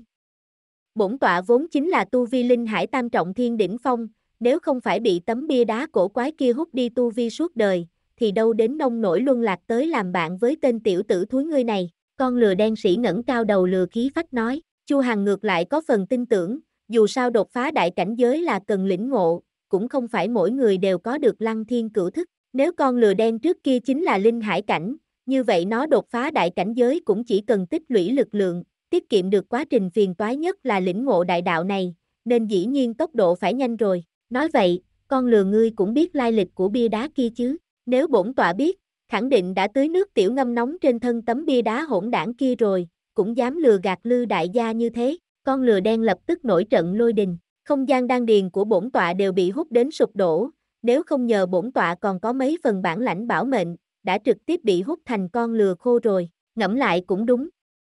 Nếu ai từ linh hải cảnh bị trực tiếp hút thành luyện thể cảnh, thì nỗi điên này đều là chút việc nhỏ, Chu Hằng lại không mảy may tỏ vẻ đồng tình, cười to nói, nhất định là con lừa đê tiện ngươi làm quá nhiều chuyện xấu, nên mới gặp báo ứng chăng, gâu. Bổn tọa cắn chết ngươi, con lừa đê tiện, ngâm miệng. Ngậm miệng. Ngươi cũng không phải chó, như thế nào luôn học theo chó cắn người, bổn tọa thích thế. Gâu. Gâu. Gâu. Một người một con lừa động thủ qua lại mấy chiêu, coi như để thích ứng một chút với lực lượng mới của mình hiện tại. Linh hải cảnh chính là linh hải cảnh. Tuy rằng con lừa đen vừa mới đột phá, hơn nữa trình tự linh lực của Chu Hằng cũng đạt tới Sơn Hà cảnh, còn có được không gian đang điền rộng hơn 240 lần so với Sơn Hà cảnh bình thường, nhưng so lực lượng với con lừa đen vẫn còn chênh lệch rất nhiều, từ Sơn Hà cảnh đến Linh Hải cảnh, bình thường có thể mở rộng không gian đang điền gấp 500 lần, cũng chính là tăng lên lực lượng ít nhất gấp 500 lần. Bởi vậy, cho dù chỉ là một linh hải cảnh bình thường đều có thể ở lực lượng đè ép Chu Hằng. Đương nhiên nếu Chu Hằng đạt tới Sơn Hà Tam Trọng Thiên, thì dựa vào chiến lực nghịch thiên của hắn còn có thể chiến một trận với cường giả linh hải nhất trọng thiên. Chương 256, Cổ Hà Càng Không giống như các động phủ khác, khắp nơi đều có vật cổ quái, động phủ của cổ Hà Càng này đặc biệt, sạch sẽ. Sạch sẽ này cũng không phải sạch không nhiễm một hạt bụi, mà là không có đồ giặt ngổn ngang, hết thảy đều là bàn đá ghế đá bình thường, hết thảy đều có vẻ cực kỳ bình thường, tỏ rõ là một địa phương ẩn cư của thế ngoại cao nhân, hà hà. Cổ lão tặc thích lừa gạt người nhất, nhìn qua càng là bình thường nói rõ hắn cất giấu càng nhiều thứ tốt, con lừa đen vừa nói vừa chảy nước miếng, hai mắt tỏa sáng, ngươi đã bị hắn lừa gạt, hừ. Bổn tọa tháo vác lanh lợi như vậy, có thể bị cổ lão tặc lừa được sao? Con lừa đen kinh thường hừ một tiếng, nhưng trên mặt lừa thật dài của nó không giấu được toát ra vẻ tức giận, xem ra năm đó thật đúng là nó đã từng bị lừa gạt, Chu Hằng cười ha hả. Mặc kệ nói như thế nào, cổ Hà Càng đều là người chết mấy vạn năm, hắn không cần phải nói xấu một người đã chết, động phủ này chỉ có một tầng, nhưng rất sâu, từng gian nhà đá nhìn qua đều giống nhau, giường đá bàn đá ghế đá, cũng không biết cổ Hà Càng tạo ra nhiều như vậy để làm chi, ngốc nghếch, con lừa đen lườm Chu Hằng một ánh mắt cực kỳ khi dễ, nói, ngươi có biết cái gì gọi là thỏ không có ba hang không? Trong này nhiều gian nhà đá như vậy, trong đó có một cơ quan có thể mở ra thông đạo đi đến phòng bí tu chân chính của cổ lão tặc, đúng là con lừa. Không biết dùng thành ngữ thì đừng dùng loạn như vậy. Ngươi có biết thỏ không có ba hang là có ý gì không? Gâu. Bổn tọa thích, ngươi có ý kiến làm gì? Ý kiến thì không. Tuy nhiên cuối cùng ngươi có tìm được chỗ cơ quan kia hay không? Nơi này nhìn qua có mấy trăm gian phòng đá, nhìn qua hoàn toàn giống nhau, điều đó là dĩ nhiên. Cổ lão tặc chính là một tên tiểu nhân, hắn ở trong này bày ra thiên cơ đại trận, mỗi một gian phòng đá đều sẽ diễn hóa ra 10 vạn phòng phụ, nếu ngươi không am hiểu trận pháp, chỉ phải lạc lối ở trong này thôi, ít nói nhảm, mau phá trận đi, đừng nóng vội. Nói đến trận pháp, ông trời, không ra ai có thể tranh với bổn tọa, con lừa đen đi ở phía trước dẫn đường, sau một hồi quanh co, đột nhiên quẹo vào một gian phòng đá, chính là nơi này, chỉ dùng ánh mắt nhìn, gian phòng đá này không khác chút nào với những chỗ khác, con lừa đen đi đến cạnh bàn đá, sau một lúc lầm bầm lẩm bẩm, liền quát to, vô tướng thần mục. Khám phá vô căn cứ, nó điểm ra một chân, đập mạnh vào trên bàn đá, lộc cộc lộc cộc, vang lên tiếng cơ quan vận chuyển, bàn đá kia đúng là xoay tròn rút vào trong lòng đất, hiện ra một cái cửa vào đen như mực, có một thềm đá đi thông xuống, không biết dẫn tới nơi nào. Cổ Hà Càng này quả là một người thận trọng, động phủ của mình đều thiết lập như thế, có thể thấy được người này không tín nhiệm người khác tới mức nào. Cổ lão tặc. Lư đại gia đến đây. Ha ha ha. Ngươi nhiều bảo bối như vậy đều là của Lư đại gia, con lừa đen tung chân liền bỏ chạy, cực nhanh vọt vào trong địa đạo, một lát sau mới vang vọng truyền ra tiếng nói, Chu tiểu tử, còn chần chừ gì nữa, kế tiếp phải xem ngươi đấy. Chu Hằng theo bậc thềm đi xuống, với tu vi của hắn lúc này tự nhiên nhìn thấy vạn trượng tối tâm thành sáng tỏ, rất nhanh liền đi tới cuối bậc thềm, chỉ nghe có tiếng nước chảy, phía trước xuất hiện một dòng suối nhỏ chậm rãi chảy xuôi, con lừa đen đứng ở trước mặt dòng suối nhỏ không hề động, vừa nghe tiếng bước chân hắn đi xuống, liền quay đầu lại nói, Chu tiểu tử, không nên coi thường suối nước này. Cái này gọi là nước chìm, là bất cứ cái gì rơi xuống đều sẽ lập tức chìm tới đáy, dưới áp lực tầng tầng lớp lớp, căn bản không thể vượt qua, dù là kết thai cảnh cũng không dám xông vào, Chu Hằng sửng sốt. Cổ Hà Càng này khẳng định là quái nhân, làm động phủ của mình biến thành nơi nguy hiểm như vậy, không sợ một ngày kia cơ quan không nhảy nhốt luôn mình ở bên trong hay sao, vậy làm thế nào để vượt qua, con lừa đen dựng thẳng lên một cái chân, nói, tự nhiên là dùng cửu huyền thí luyện tháp của ngươi, có tác dụng không? Ngươi không phải nói rơi xuống nước có thể chìm hết thảy sao? Cửu huyền thí luyện tháp rơi xuống chẳng lẽ không chìm tới đấy? Chu Hằng nhăn mày lại, hỏi, không, không, không.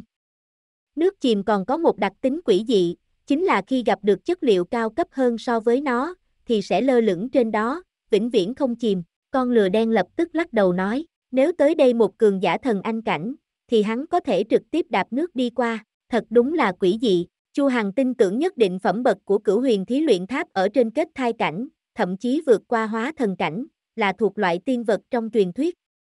Nếu như con lừa đen nói không ngoa, vậy quả thật bọn họ có thể dùng cửu huyền thí luyện tháp làm như thuyền vượt qua. Con lừa này tuy rằng cực độ không đáng tin, nhưng còn không đến mức cũng kéo chính nó xuống hố. Đi, Chu Hằng phóng ra cửu huyền thí luyện tháp, rồi phóng lớn một chút, ném xuống dòng suối nhỏ, sau đó một tay xách lên con lừa đen, ý niệm vừa động lập tức đi vào bên trong bảo tháp, đinh đông, cửu huyền thí luyện tháp rơi xuống trên mặt nước, đúng là kỳ dị, lại giống như rơi xuống trên mặt đất, không có chìm xuống chút nào, ngược lại theo dòng suối chảy về phía trước, Chu Hằng phóng thần thức ra ngoài, một đường lưu ý, không hề quan tâm tới con lừa đê tiện kia. Tốc độ nước chảy tuy rằng không nhanh, nhưng mười mấy phút sau vẫn là đi tới cuối, vù, thân hình hắn nhoáng lên một cái, đã hiện ra trên bờ. Hắn có thể xuất hiện ở một nơi tùy ý trong phạm vi hai trượng chung quanh cửu huyền thí luyện tháp, sau khi lên bờ, hắn cũng phóng ra con lừa đen, quả nhiên là bảo bối nha, con lừa đen hai mắt tỏa sáng, nước miếng chảy đầy đất, không cần làm người ta ghê tởm, Chu Hằng thật muốn cho nó một quyền, đồ keo kiệt, con lừa đen lau nước miếng, tiếp tục đi tới, nó càng lúc càng có hứng thú với hang ổ của cổ Hà Càng. Sau khi đi qua một thông đạo thật dài, bọn họ đi vào một gian nhà đá rất lớn, nhà đá này rộng chừng 10 trượng, nhưng độ sâu đạt tới cả trăm trượng, giống như một quảng trường thật lớn. Chu Hằng đảo mắt nhìn lướt qua, quả thực đây là một tàng bảo thất, nhiều nhất chính là linh thạch, mỗi thứ đều tản ra linh khí thiên địa kinh người, vô cùng nồng đậm, tinh thuần. Sau đó còn có những cái giá xếp đầy vũ khí, đủ thấy chủ nhân gian nhà đá cất chứa rất phong phú, ha ha ha. Cổ lão tặc. Bổn tọa không khách sáo nữa rồi, con lừa đen cười gian xảo một tiếng, sau đó lập tức bắt đầu ra chân cướp đoạt, hiển nhiên nó cũng có pháp khí không gian, hơn nữa cực kỳ lớn, một hơi liền lấy đi một phần mười bảo vật nơi này, không mảy may có ý ngừng tay, con lừa đê tiện. Ngươi không thể chậm một chút được sao, nhanh tay thì có, chậm tay thì không, Chu Hằng cũng vội vàng ra tay cướp đoạt, linh thạch có thể được lão tổ kết thai cảnh cất giấu đương nhiên là linh thạch thượng phẩm, phẩm bậc cao nhất, đáng tiếc là cũng không có bảo bối chân chính như loại linh hạch, hai tay hắn vung ra, linh lực cuốn tới, căn bản không cần xem thu lấy thứ gì, toàn bộ cuốn vào bên trong cửu huyền thí luyện tháp, một người một con lừa triển khai cướp đoạt điên cuồng, cướp đoạt tận tình. Trước kia tuy rằng từng đi không ít di tích linh tinh đủ các loại, nhưng chưa từng có lần nào thuận lợi như vậy, dễ dàng liền đi tới chỗ cất giấu bảo vật. Nếu về sau cũng đều có thể nhiều lần như thế, thì đường tu hành của hắn sẽ dễ dàng hơn nhiều. Ngươi tranh ta đoạt, một người một con lừa rất nhanh thì gặp nhau ở cuối gian phòng, bảo vật còn dư lại đã không còn nhiều lắm. Ầm, một khối hổ phách màu đỏ sậm thật lớn bị bóc ra, lơ lửng ở giữa không trung. Chỉ trong nháy mắt này, mỗi một cọng lông măng của Chu Hằng đều dựng lên, tràn đầy cảm giác căng thẳng khó có thể diễn tả. Trong khối hổ phách này, có một nam nhân, hắn nhắm nghiền hai mắt. Theo lý mà nói, nhà đá này cũng đã có mấy vạn năm lịch sử, mặc kệ là người hay là yêu hẳn đều bị chết sạch sẽ hóa thành tro bụi. Nam nhân trong hổ phách này khẳng định đã chết, nhưng vì sao lại tạo cho hắn một cảm giác vô cùng đáng sợ, dường như bất cứ lúc nào có thể tỉnh lại, nhẹ tay chút. Nhẹ tay chút, con lừa đen vội vàng đánh ra một đạo linh lực, giữ lại khối hổ phách không để cho nó rơi xuống, đừng làm cổ lão tặc thức tỉnh, cái gì? Chu Hằng chỉ cảm thấy một luồng hơi lạnh từ phía sau lưng phát lên, rồi chạy khắp toàn thân, hắn là cổ hà càng ư, trừ cổ lão tặc ra, ai mà sống hèn hạ như vậy, con lừa đen hết sức cẩn thận đặt khối hổ phách xuống, thực sự là rất nhẹ tay nhẹ chân, dường như người ở bên trong chỉ là đang ngủ say vậy, con lừa đê tiện. Ngươi đến tột cùng che giấu cái gì? Chu Hằng xoay đầu lại, hỏi, hắn còn chưa có chết ư, ừm. Chưa chết, con lừa đen gật đầu, sao có thể, Chu Hằng vừa định nói con người làm sao có thể sống hơn mấy vạn năm, nhưng nhìn lại con lừa đen trước mặt này, nếu nó không nói ngoa thì nó cũng là một con lừa trường thọ sống mấy vạn năm, chỉ là phần lớn thời gian đều đang trong ngủ say, ngủ say, hắn nhìn về phía khối hổ phách, cổ hà càng kia vốn cũng không có chết, chỉ là đang ngủ say mà thôi, cái này gọi là thời gian nguyên dịch, có thể tạm thời phong tỏa hết thảy trôi qua sinh mạng của sinh vật, bao gồm thần thức, giống như là thời gian ngừng lại, con lừa đen giải thích, đúng rồi, con lừa đê tiện này cũng giống như vậy vượt qua năm tháng mấy vạn năm chăng, nhưng nếu chỉ là một con lừa đê tiện, thì đó cũng không tính là gì, nhưng không ngờ còn có một người lựa chọn phong tỏa trôi qua thọ nguyên của chính mình, vượt qua lịch sử tan thương đi tới tương lai, điều đó cũng không phải trùng hợp chứ, con lừa đen.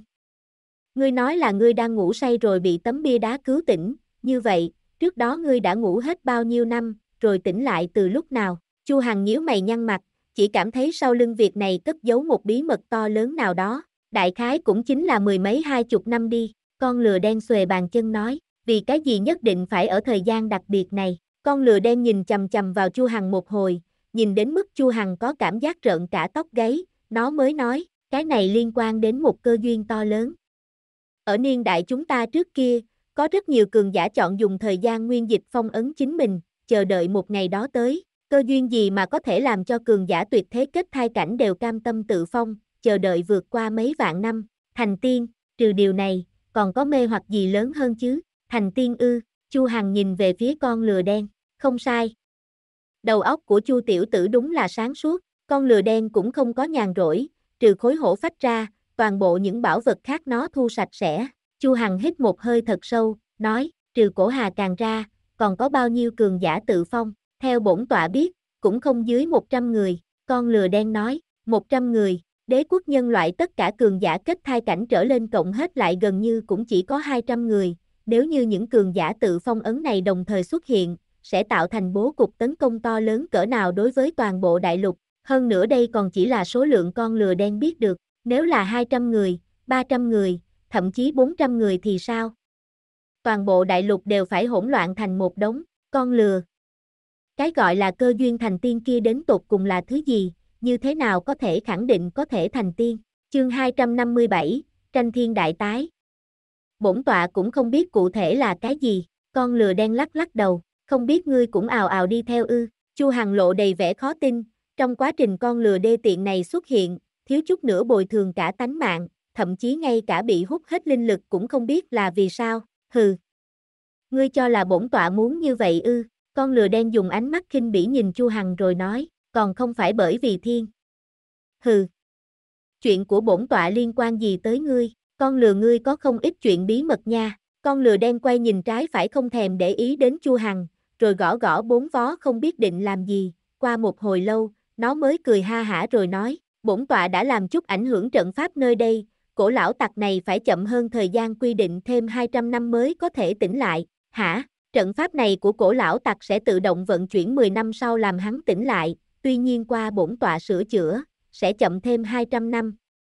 Đến lúc đó cứ để lão tặc này dương mắt nhìn đi, con lừa đen mặt đầy hưng phấn, nói, Lư đại gia đã không kịp chờ đợi thật muốn nhìn biểu tình trên mặt hắn ngay, con lừa đê tiện. Ta có từng nói qua ngươi thực nham hiểm hay không? Hừ. Đây là bổn tọa ăn miếng trả miếng, một người một con lừa vừa nói chuyện, vừa bắt đầu trở lại theo đường cũ, nếu đã vét sạch toàn bộ động phủ, còn lưu lại cũng không có ý nghĩa, không cần đi ra động phủ, nơi này có trận pháp có thể trực tiếp truyền tống ra bên ngoài. Sau khi rời khỏi dòng suối chìm, con lừa đen dẫn Chu Hằng đi vào một gian nhà đá khác, sau một phen lắc qua lắc lại, ánh sáng trắng cuốn qua bao phủ bọn họ, rồi nhoáng lên một cái, bọn họ đã hiện ra trên vách đá phía ngoài cùng, Chu tiểu tử. Sau này bổn tọa sẽ tìm tới ngươi cùng nhau phát tài, con lừa đen tung ra bốn vó liền bỏ chạy, ở trong bí thất của cổ Hà Càng, nó vớ được bảo vật nhiều hơn xa so với Chu Hằng, đương nhiên không muốn ở lại lâu, sợ Chu Hằng đòi chia đều bằng nhau. Con lừa này có bản tính quá mức tham lam đối với bảo vật, nên muốn từ trong túi nó lấy ra bảo bối, quả thực chính là muốn cái mạng của nó. Chu Hằng không khỏi lắc đầu bật cười, thân mình nhoáng một cái đi vào cửu huyền thí luyện tháp, hắn cũng thu hoạch thật lớn, chỉ là linh thạch thượng phẩm đã có gần vạn khối, còn có một đống lớn tài liệu quý báu, tuy rằng không phải pháp khí, nhưng đối với Chu Hằng mà nói, tài liệu còn tốt hơn so với pháp khí, bởi vì trong pháp khí có trận pháp, trận pháp sau khi hấp thu linh khí thiên địa sẽ hình thành trận linh, kế thừa ý chí thiên địa, phản kháng cắn nuốt hắn. Nếu gặp phải cấp bậc linh hải cảnh hắn cũng không trấn áp được, nhưng tài liệu thì khác, chỉ là tinh hoa kim loại thuần túy, hắn chỉ cần luyện hóa là được, hắn cũng không vội chạy trở về, dù sao đã sớm bỏ lỡ chọn lựa của Thượng Thiên Võ Cát, trước hãy luyện hóa những tài liệu này, vận chuyển năng lực vệ kim tộc, hắn bắt đầu điên cuồng cắn nuốt tài liệu trong cửu huyền thí luyện tháp. Dùng mất 4 ngày mới tiêu hóa sạch sẽ những tài liệu trân quý này, nhưng khiến hắn thất vọng là, nhiều tài liệu như vậy không ngờ vẫn không có đủ cường độ để thân thể hắn đột phá đến linh hải cảnh, xem ra, thể tu cũng không có dễ dàng như trong tưởng tượng của ta, Chu Hằng thở dài, đi ra ngoài cửu huyền thí luyện tháp, chạy trở về hướng Lan Lăng Thành, mặc kệ nói như thế nào, chuyến này vẫn là thu hoạch rất lớn, tu vi linh lực của hắn rốt cục nhảy vào sơn hà cảnh. từ nay về sau bất kỳ võ giả sơn hà cảnh nào, đều có thể trong một cái lật tay trấn áp, mà thể chất cũng được tăng lên rất lớn, mặc dù cách linh hải cảnh còn cách một đoạn, một vạn linh thạch thượng phẩm càng vô cùng trân quý, loại vật này cho dù ở Thiên Long Đế Triều cũng là thứ hiếm lạ. Kỳ thật huyền càng đại lục cũng không có quặng mỏ linh thạch thượng phẩm thuần túy, mà chỉ có quặng mỏ linh thạch trung phẩm, phẩm chất tương đối khá hơn một chút, ngẫu nhiên có phối hợp một ít linh thạch thượng phẩm, có thể nói là tinh hoa trong linh thạch, vô cùng trân quý, đáng tiếc, phần lớn linh thạch thượng phẩm đều bị con lừa đen chọc lấy, hắn bước nhanh đi nhanh, tốc độ cực nhanh, sau khi đạt tới Sơn Hà Cảnh, mặt đất của nội thế giới hô ứng cùng mặt đất thế giới bên ngoài, một bước chân rơi xuống mặt đất có một lực lượng bắn ngược lại, giúp cho tốc độ của hắn tăng nhiều. Tuy rằng không thể so sánh với vận dụng tấn vân lưu quan bộ, nhưng so với khai thiên cảnh thì vẫn nhanh hơn rất nhiều. Cảnh giới võ đạo càng cao, độ dung hợp với thiên địa tự nhiên càng cao, lấy được lực lượng tặng lại cũng càng lớn. Vẹn vẹn chỉ ba ngày sau, Chu Hằng về tới Triệu Gia, nhìn thấy hắn trở về, cao hứng nhất dĩ nhiên là mẫu thân Triệu Khả Hân, còn Tiêu Họa Thủy thì liên tiếp đưa mắt gợi tình với hắn. Đương nhiên buổi tối có một phen cảnh đẹp mát mẻ, dưới nến đỏ bên cửa sổ tâm tình thâu đêm, hưởng duyên tình cá nước bất tận. Ngày hôm sau, hắn bị Triệu Đoạt Thiên kêu lên, vì sao không đi tham gia khảo hạch của Thượng Thiên Võ Các? Triệu Đoạt Thiên hỏi, giọng nói rất bình thản, dường như cũng không có để ở trong lòng chuyện hắn bỏ lỡ mất cơ hội này. Chu Hằng mỉm cười, nắm lại nắm tay, toàn diện vận chuyển linh lực, lập tức lực lượng của Sơn Hà cảnh cuồn cuộn tràn ra. Hả? Triệu Đoạt Thiên mắt sáng lên, bật xoay người lại, trên mặt hiện lên vẻ kinh ngạc. Hắn kỳ vọng rất lớn đối với Chu Hằng, nhưng cũng không nghĩ tới mới chỉ hơn 10 ngày không gặp, Chu Hằng liền từ khai thiên nhị trọng thiên trực tiếp tăng vọt vù vù vù đến Sơn Hà cảnh. Đây chính là khoảng cách một tiểu cảnh giới cộng thêm một đại cảnh giới, dù là hắn năm đó lấy được kỳ ngộ cũng không có kinh khủng như vậy. Thử nghĩ, năm đó hắn ở 26 tuổi đột phá đến Sơn Hà Cảnh, đã có thể xưng là một trong 10 người đột phá đến cảnh giới này nhanh nhất từ trước tới nay, nhưng Chu Hằng dễ dàng liền phá kỷ lục của hắn. Tốt lắm, tốt lắm, triệu đoạt thiên gật gật đầu, mỗi một thiên tài đều có đạo của mình, có gặp gỡ của mình. Ta không nghĩ hạn chế phát triển của ngươi, nhưng nếu ngươi có rảnh rỗi, cũng nên đi thượng thiên võ các một chuyến. Nơi đó có thông thiên trận, thông qua có thể đạt được cơ hội tiến vào võ các, cũng không phải không nên tham gia khảo hạch, không chỉ là có cơ hội lãnh giáo cường giả thần anh cảnh đơn giản như vậy, nơi đó hội tụ anh tài kiệt xuất của cả nhân loại, so chiêu một chút cùng bọn chúng, đối với ngươi bổ ích rất lớn. Sau khi ngươi đột phá kết thai cảnh, con đường đạo sau này cũng chỉ có thể tự mình đi. Mỗi một kết thai cảnh hình thành thần chip đều không giống nhau, không ai có thể chỉ đạo bước tiếp theo cho ngươi. Lúc này hắn nói một lần thông suốt với Chu Hằng, đều là tâm đắc hắn thể hội ở giai đoạn Sơn Hà Cảnh, đáng tiếc Chu Hằng là không cần lĩnh ngộ cảnh giới nhất, đối với lời nói của hắn đều là vào tai trái ra tai phải. Ngược lại thì Chu Hằng không ngừng quan sát thần chích dần dần thành hình của Triệu Đoạt Thiên. Rời chỗ Triệu Đoạt Thiên, Chu Hằng lại bị Tiêu Họa Thủy Kỳ kèo muốn đi dạo phố, hắn ngẫm nghĩ một chút rồi cũng vui vẻ đáp ứng. Liền mang theo Tiêu Họa Thủy, Lan Phi, Nam Cung Nguyệt Dung cùng đi ra ngoài triệu phủ, con đường của võ giả, cũng không phải chỉ có khổ tu, đi tới một tửu lâu, bọn họ bao một gian phòng, chỉ là tửu lâu này món ăn nấu nướng tuy ngon, nhưng cấp bậc cũng không cao lắm, thanh âm hai bên cách vách chỉ cần hơi lớn giọng chút là hai bên nghe rõ ràng, bốn người một bàn, nhao nhao uống rượu ngon ăn sáng, đêm qua tận sức vui đùa ầm ĩ ở trên giường đều không có thời gian nói chuyện, ba nàng hỏi tới thu hoạch của Chu Hằng chuyến đi này, khi nhìn thấy hắn lấy ra mấy khối linh thạch thượng phẩm mỗi người đều vô cùng kích động, nên biết rằng linh thạch thượng phẩm không chỉ tăng lên tích lũy linh lực đơn giản như vậy, hơn nữa trong đó còn ẩn chứa quá trình của thiên địa diễn hóa, có giúp ích cực lớn đối với sáng tạo nội thế giới. Kết thai cảnh về sau, nếu muốn tiếp tục tăng lên nhất định cần phải dựa vào linh thạch thượng phẩm, nương theo lĩnh ngộ thiên địa trong đó để lớn mạnh thần chích, hóa thai là anh, trưởng thành, hóa thành chân thần, vượt thẳng lên chín tầng trời. Lần này Thượng Thiên Võ các khảo hạch, có bao nhiêu người thông qua? Chu Hằng thuận miệng hỏi, tổng cộng 17 người, Nam Cung Nguyệt Dung đáp. Trong ba người coi như nàng thiên phú võ đạo cao nhất, cũng có năng lực tu luyện nhất, đối với phương diện tin tức này đương nhiên nàng cũng quan tâm nhất, tỉnh Thiên. Là xếp tên đầu, nàng ngẫm nghĩ, do dự một chút mới nói, sau đó ngẩng đầu nhìn Chu Hằng, Chu Hằng không khỏi tỏ vẻ ung dung, sợ mình ghen hay sao? Hắn vốn không có xem đi tới thượng thiên võ các là gì. Chỉ có điều tỉnh thiên thật đúng là có tài, lại có thể ở toàn bộ thiên tài của lãng nguyệt quốc trổ hết tài năng, đạt được vinh quang xếp tên đầu. Đó là vì chủ nhân không có tham gia, nếu không tên xếp thứ nhất khẳng định là chủ nhân rồi. Lan Phi e sợ Chu Hằng không thích, vội vàng vuốt mông ngựa. Lập tức Chu Hằng trừng mắt nhìn nàng một cái, chỉ cảm thấy nữ nhân này trừ ở trên giường coi như nhu thuận, ngoài ra thấy thế nào đều vô cùng đáng ghét. Lan Phi nhát gan, vội vàng cúi đầu xuống, chỉ là ở trong lòng thầm mắng tên thổ phỉ này xem lòng tốt của nàng trở thành lòng lan dạ thú hay sao. Khảo hạch của Thượng Thiên Võ Các rất đặc biệt, cũng không phải với tu vi làm tham khảo trọng yếu nhất, mà là toàn diện khảo hạch về tâm trí, tư chất. Bởi vậy có rất nhiều người không được chọn không phục, mấy ngày nay do ứng gia ra mặt, đang định cử hành một cái gọi là tranh thiên đại tái. Phàm là người dưới 100 tuổi đều có thể tham gia, dùng võ tranh đoạt đệ nhất. Nam Cung Nguyệt Dung còn nói thêm, Thượng Thiên Võ Các chọn lựa tiêu chuẩn thấp nhất chính là dưới 100 tuổi, tranh thiên đại tái này cũng có quy định giống vậy, ngược lại đúng là có vài phần mùi vị không phục đối chọi gây gắt. Lão vô, ngươi nói lần này ai sẽ thắng, thanh âm cách vách hơi lớn một chút, lập tức truyền sang bên này, khẳng định là tiền Hà Minh, khai thiên tam trọng thiên đỉnh phong. Tuy nhiên, Ngư Huyền Anh cũng rất lợi hại, mặc dù là khai thiên tam trọng thiên trung kỳ, nhưng đều ở cùng cảnh giới, chiến lực cũng sẽ không chênh lệch quá xa. Nam Cung Nguyệt Dung thấy Chu Hằng lộ ra vẻ hứng thú, liền nhỏ giọng nói, Tiền Hà Minh, Ngư Huyền Anh đều là trong số người đứng đầu của tranh thiên đại tái lần này. Đáng tiếc, Hàng Diệt Giao không biết đi nơi nào, nếu nàng trở lại, khẳng định là xứng đáng xếp hạng thứ nhất. Nếu nàng xuất hiện, nhất định sẽ được chọn là đệ tử của Thượng Thiên Võ Cát, đâu cần lưu lại tham chiến. Ngươi nói xem nàng đã đi đâu rồi, lão tử làm sao biết? Không thấy ứng gia đang xuất động nhiều người như vậy tìm kiếm sao? Bọn họ đều không tìm được, lão tử làm thế nào đoán được, hà hà. Nói ra thật đúng là có hứng thú, đế đô trước sau mất tích hai đại Mỹ thì đều có liên quan với ứng gia, một là tỷ tỷ, một là vị hôn thê của ứng thừa ân.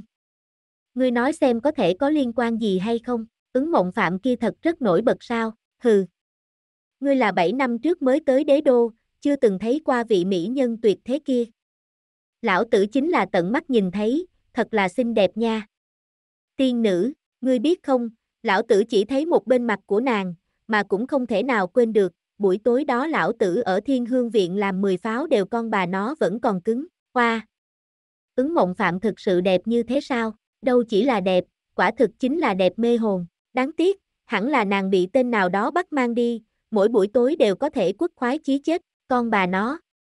Thật sự là ghen tị với tên hỗn đảng nào đó mà, những câu kế tiếp đều hoàn toàn khó nghe. Chương 258, vì sao trường sinh? Người trong bao sương ồn ào phấn khởi, thanh âm càng lúc càng lớn, Chu Hằng khe khẽ hừ một tiếng, khí tức sơn hà cảnh truyền qua, bên kia lập tức yên tĩnh, không còn tiếng động nào nữa. Chủ nhân háo sắc, ngươi nói ứng mộng phạm kia thật sự đẹp như vậy sao? Tiêu họa thủy không cam lòng nói, làm một mỹ nữ, hơn nữa còn rất tự kỷ, tự phụ mỹ nữ, cho nên nàng khó chịu nhất là có chuyện có người ở trước mặt nàng khen ngợi người khác tuyệt lệ vô song, mỹ mạo không người nào sánh bằng, quả thực rất khiêu khích, hơn nữa tiêu họa thủy đúng là đại mỹ nữ trong một vạn chọn một, thậm chí trong trăm vạn chọn một, nhất cử nhất động đều phong tình vạn chủng, có một cổ quyến rũ mê hoặc trời sinh. Đây cũng là vốn kiêu ngạo của nàng, tuy nhiên lão trời già tài nghệ điêu luyện, nếu có thể sáng tạo ra núi cao biển rộng, cũng có thể đắp nặng ra từng đại mỹ nhân dung mạo, phong tình khác nhau. Nếu như nói tiêu họa thủy là trong trăm vạn chọn một, như vậy hàng diệt giao, Mai Di Hương loại mỹ nữ này chính là trong ngàn vạn chọn một, giống như võ đạo, nhân ngoại hữu nhân, sơn ngoại có sơn. Như vậy, trên đời này còn có mỹ nữ xuất sắc hơn hàng diệt giao, Mai Di Hương cũng không kỳ quái, trong ức vạn chọn một, thậm chí là mấy trăm năm, mấy ngàn năm mới có thể ra một, chân chính là khuynh quốc khuynh thành. Truyền thuyết về ứng mộng phạm đều có tùy ý nghe được ở đế đô, chỉ cần người hơi lớn tuổi, ai cũng vô cùng kinh diễm với ứng mộng phạm, như đã nói qua, cũng chỉ là mười mấy năm thôi, mà người là động vật chóng quên, chỉ sợ thêm mấy chục năm, phần lớn phàm nhân đều qua đời, ứng mộng phạm cũng đồng dạng chỉ là truyền thuyết mà thôi. Vạn cổ đại đế đã trải qua vô số năm tháng, hiện tại lại mấy người biết huy hoàng của hắn, trừ phi trở thành tiên trong chín tầng trời, nếu không, không có tồn tại bất hủ, vì trường sinh, đến tột cùng phải trải cái giá bao nhiêu, Chu Hằng tưởng tượng ra ứng mộng phạm mà càng lúc càng đi xa, huyết kiếm thiên quân vì trường sinh lựa chọn bỏ qua thân thể, cùng ma kiếm tương hợp, mà cổ hà càng, con lừa đen lại lựa chọn phong ấn sinh mệnh, xuyên qua mấy vạn năm truy tìm cơ hội thành tiên, làm như vậy cần dũng khí cực lớn, giống như cổ hà càng bị hắn và con lừa đê tiện càng quét động phủ. May mắn thực lực của bọn họ yếu đi chút, nếu như đổi thành tồn tại kết thai cảnh, có thể thuận tiện bổ túc cho cổ hà càng, thật sự cho hắn cơ hội hay không? Chu Hằng không ngừng suy nghĩ, vì trường sinh, hắn sẽ phải trả cái giá lớn thế nào phải trả, hắn không có đáp án rõ ràng, suy nghĩ một hồi. Hắn không khỏi thất cười rộ lên, hắn cách thọ nguyên khô cạn không biết còn bao nhiêu lâu, hơn nữa, chẳng lẽ hắn không thể dựa vào lực lượng của mình hóa phàm thành tiên, chém phá hư không hay sao, chẳng những hắn sẽ trở thành tiên, hơn nữa hắn còn có thể đem cha mẹ, thân nhân, người yêu vào tiên giới, một người đắc đạo, gà chó lên trời, vì mình, vì thân nhân, nghĩ như thế. Tính niệm của Chu Hằng lại kiên định thêm một phần, hai mắt mở ra sáng quắc, thật muốn gặp vị ứng mộng phạm kia. Tiêu họa thủy lẩm bẩm nói, lại có người đi tới bên cạnh Chu Hằng, dùng một đôi ngọc phong no đủ cọ lên cánh tay Chu Hằng, xiết, làm phiền cũng phải xem trường hợp có được không. Trong đầu Chu Hằng hiện lên một nữ nhân hình tượng ngũ quan mơ hồ, chưa từng thấy qua chân nhân trước đó, ai có thể tưởng tượng được còn có người xinh đẹp hơn cả hàng diệt giao, Mai Di Hương các nàng chứ. Sức tưởng tượng của con người có cực hạn, ứng mộng phạm tuy rằng biến mất mười mấy năm. Nhưng ở đế đô vẫn còn là đề tài nóng, vẫn luôn nghe thấy người ta nhắc tới, ai mà không có khát vọng được gặp tuyệt thế mỹ nhân này, chủ nhân, nô nóng quá rồi, tiêu họa thủy phát dục là chẳng phân biệt thời gian, sau khi cọ cọ chu hằng một lúc, đầu ngón tay vén vào cổ áo, sau một lúc không ngờ nàng kéo nội y ra ngoài, thật sao? Ngực thả rông, hai quả cầu thịt no đủ mơ hồ xuất hiện trước mặt chu hằng, tản phát ra khí tức mê người. Chu Hằng không khỏi rụt rịch, đưa tay xuyên qua cổ áo tiêu họa thủy, dễ dàng nắm lấy một quả cầu thịt no đủ.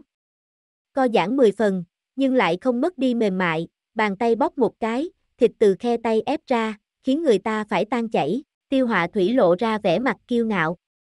Có thể làm cho nam nhân như thần linh này lộ ra vẻ mặt say mê như vậy, nàng cảm giác vô cùng thành tựu, mẹ con Lan Phi cũng động, một trái một phải quỳ bên chân Chu Hằng, sau khi sờ soạn một lúc, quần Chu Hằng liền bị tụt xuống, hai nàng cùng thổi kèn, xiết, khoái cảm mãnh liệt truyền lại, Chu Hằng cúi đầu nhìn, chỉ thấy Lan Phi và Nam Cung Nguyệt Dung mặt đối mặt ngồi chồm hổn, cùng dùng miệng thổi kèn đàn hát, khiến người ta cực kỳ khoan khoái. Chu Hằng lại không biết, kỳ thật Lan Phi và Nam Cung Nguyệt Dung cũng không phải mẹ con chân chánh, thấy một màn như vậy, trong lòng không khỏi dâng lên khoái cảm cấm kỵ, thằng nhỏ phía dưới càng ngày càng dựng đứng, hừ, Tiêu họa thủy bất mãn bị Lan Phi mẹ con đoạt trước, vội vàng con người ép vào lòng Chu Hằng, thi triển ra mị công độc nhất vô nhị của nàng, từ y y, trên trên rỉ rỉ, Chu Hằng rất nhanh đạt tới cực khoái, tinh trùng trào ra.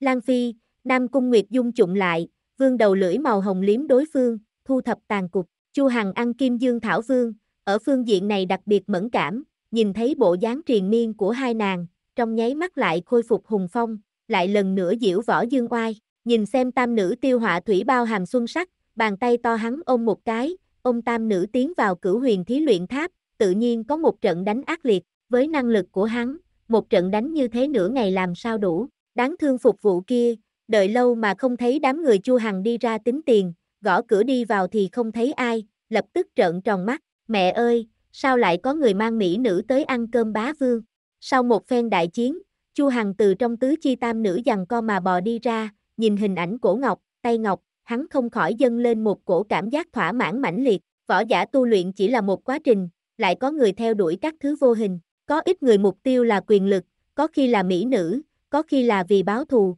còn có giết người.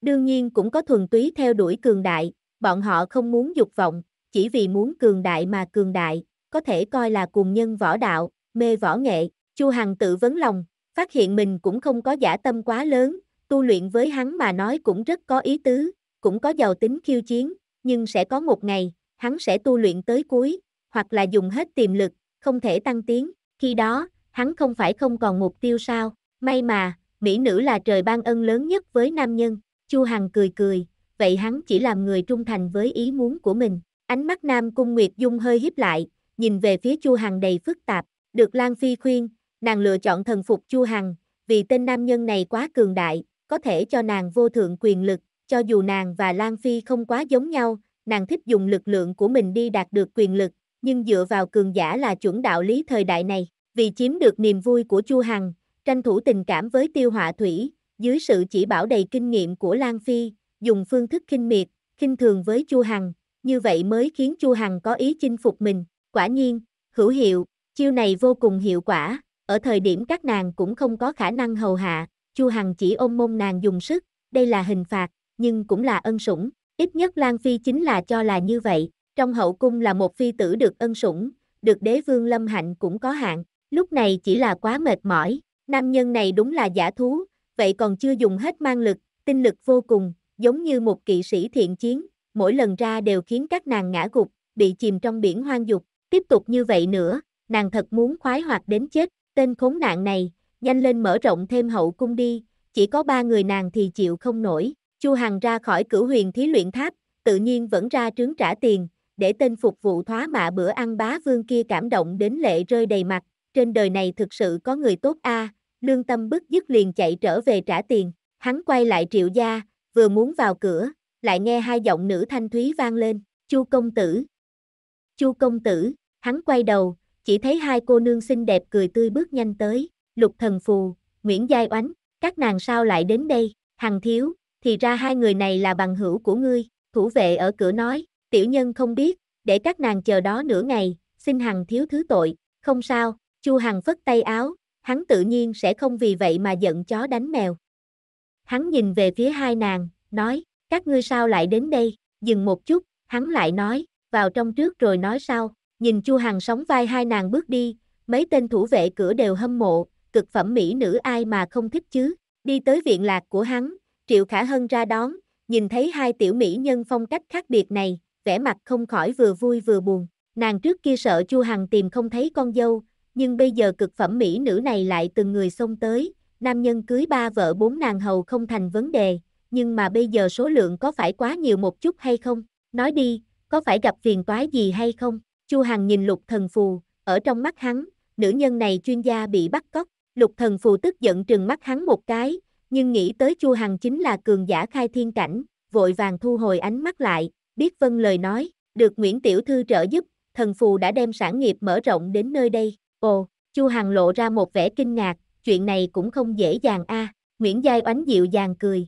nói, được phục vụ Chu công tử chính là vinh quang của thiếp, nữ nhân này vẫn chưa từ bỏ ý tưởng ban đầu, vẫn luôn nhận định hắn chính là chủ nhân thiên bảo các tìm kiếm. Chu Hằng tuy rằng cảm thấy nữ nhân này quá chấp nhất, nhưng người ta cũng nhiều lần hỗ trợ, nhân tình này phải trả. Hắn bây giờ còn có rất nhiều bí mật không thể tiết lộ, cũng phải không thể thiếu nhân tình được, về sau trả lại là xong. Đúng, chúng ta còn mang một ít kim loại tới. Nguyễn Giai Oánh từ trong pháp khí không gian lấy ra kim loại chất đầy đất. Ông, trong đan điền, hắc kiếm bỗng nhiên rung lên kịch liệt. Chương 259, tiên vật không rõ. Hắc kiếm động, Chu Hằng sửng sốt một hồi mới phản ứng được, vị này không ngờ chủ động phản ứng. Trong đống kim loại này có bảo vật tuyệt thế. Chu Hằng lập tức nóng mắt, lần này hắc kiếm phản ứng mạnh hơn trước kia, cho dù thời điểm cảm ứng được cửu huyền thí luyện tháp cũng không mạnh như vậy à. Đến tột cùng là cái gì? Chu công tử, ngươi làm sao vậy? Thấy Chu Hằng thất thần, Nguyễn Giai Oánh liền vội vàng hỏi, không có gì, cảm ơn các ngươi. Chu Hằng thật lòng nói, có thể khiến cho hắc kiếm phản ứng mạnh như vậy, tuyệt đối là tiên vật. Đột nhiên chiếm được một kiện tiên vật, ai lại không kích động chứ? Trong khoảng thời gian ngắn, hắn cũng không kịp hàng huyên nhiều với hai nàng, mời mẫu thân sắp xếp chỗ ở cho hai nàng, hắn trước thả tam nữ tiêu họa thủy ra, sau đó một mình chui vào trong cửu huyền thí luyện tháp, kim loại dưới đất đã sớm được thu vào, một đống giống như ngọn núi nhỏ cũng không biết là kiện nào là tiên vật khiến hắc kiếm phản ứng, không sao, hắn có thể luyện hóa từng cái, thi khai năng lực vệ kim tộc, Chu Hằng tiện tay nắm lên một khối kim loại, ý niệm trong đầu vừa động, khối kim loại này liền hóa thành chất bụi xám, tinh hoa hóa thành một giọt chất lỏng màu tím, xoa quanh lòng bàn tay hắn, tiếp tục cắn nuốt, gần nửa ngày sau, trên mặt đất chỉ còn lại một khối kim loại màu xám tro. Hắn vẫn chưa cảm giác được trước đó cắn nuốt được tài liệu vô cùng trân quý gì, mà hắc kiếm trong đan điền vẫn đang kịch liệt rung động, chính là nó. Chu Hằng cầm lấy khối kim loại này nhìn kỹ, chỉ thấy nó nhìn qua không có gì lạ, tuy rằng hắn có tinh huyết vệ kim tộc, có năng lực cảm ứng kim loại nhất định, nhưng khối kim loại này không được tốt lắm, hắn bắt đầu cắn nuốt, giống như phong hóa vậy, lớp ngoài khối kim loại này nhao nhao rơi xuống, rất nhanh xuất hiện một giọt tinh thể bằng hạt đậu, mặt ngoài có vô số mặt cắt, Chu Hằng liếc mắt một cái, nhưng mà không đếm được số lượng bao nhiêu. Lực lượng của thiên địa là vô tận, nhưng mà một khối tinh thể nho nhỏ lại có nhiều mặt cắt như vậy thì rất không tầm thường. Đây là tiên vật sao? Trong đan điền, hắc kiếm kịch liệt chấn động. Nhưng mà Chu Hằng lại chút không cảm giác được tinh thể này có gì đặc dị. Tinh thể này giống như kim cương vậy, toàn thân trong suốt, bởi vì quá nhiều mặt cắt, ánh sáng không ngừng chiết xạ, phát ra ánh sáng vô cùng xinh đẹp. Chu Hằng nhìn kỹ một cái mặt cắt, chợt cảm thấy trong đầu đau đớn. Dường như có vô số tin tức truyền vào, nhưng không có một thứ hắn có thể lý giải được, chỉ khiến đầu hắn ung lên. Cổ quái như vậy, Chu Hằng nói, nếu khối này là tiên thạch thì còn may, hắn có thể trực tiếp luyện hóa hấp thu, nhân gian có loại linh thạch đề thăng tốc độ tu luyện rất tốt, vậy tiên giới cũng phải có tiên thạch tương tự chứ, nhưng bất kể Chu Hằng hấp thu như thế nào. Tinh thể này cứ giống như đá cứng, căn bản không có bất kỳ phản ứng nào, có thể khẳng định một điểm, tinh thạch này tuyệt đối không đơn giản, cho dù hắc kiếm không phản ứng kịch liệt, chỉ nói hắn không thể dùng linh lực phá vỡ được nó là biết. Đừng nói chấn vỡ, linh lực của hắn đánh vào liền như trâu đất xuống biển, Chu Hằng lại vận chuyển tử hỏa, nhưng mà cũng không có chút tác dụng, thậm chí hắn muốn dùng hắc kiếm cắt lên, nhưng ngẫm lại hắc kiếm tuy rằng sắc bén nhưng mà lực lượng bản thân hắn không đủ, không thể phát huy ra sự sắc bén vô kiên bất tồi của hắc kiếm, ngay cả cường giả linh hải cảnh đều không thể đánh chém, huống chi là tinh thể thần bí này, trừ chắc chắn ra, tinh thể này dường như không có gì đặc biệt, tạm thời thu lại vậy, Chu Hằng cất tinh thể bên người, cũng không bỏ vào trong cửu huyền thí luyện tháp, đồ chơi này tuyệt đối rất huyền diệu, chỉ là trước mắt hắn không thể nhìn thấu. Bởi vậy hắn muốn nghiền ngẫm bất cứ lúc nào, lục thần phù muốn sản nghiệp kéo dài đến lãng nguyệt quốc, đây là chuyện Chu Hằng rất là hoan nghênh, bởi vì tài liệu cao cấp chỉ có thể thông qua linh thạch, thậm chí linh thạch trung phẩm, thượng phẩm mới mua được, vùi ở trong hàng phong quốc thì nhiều nhất chỉ có thể nhận được linh thạch trung phẩm, hơn nữa số lượng cực kỳ có hạn, hắn giàu gì cũng là chủ nhân trên danh nghĩa của lục gia thương nghiệp. Người ta nếu đã đến đây, hắn tự nhiên cũng phải giúp mở ra cục diện, chuyện buôn bán hắn không hiểu, nhưng có thể dùng lực lượng của mình dọn sạch chướng ngại cho lục thần phù, miễn cho có người có mắt không trồng đến gây phiền toái, về buôn bán vô khai.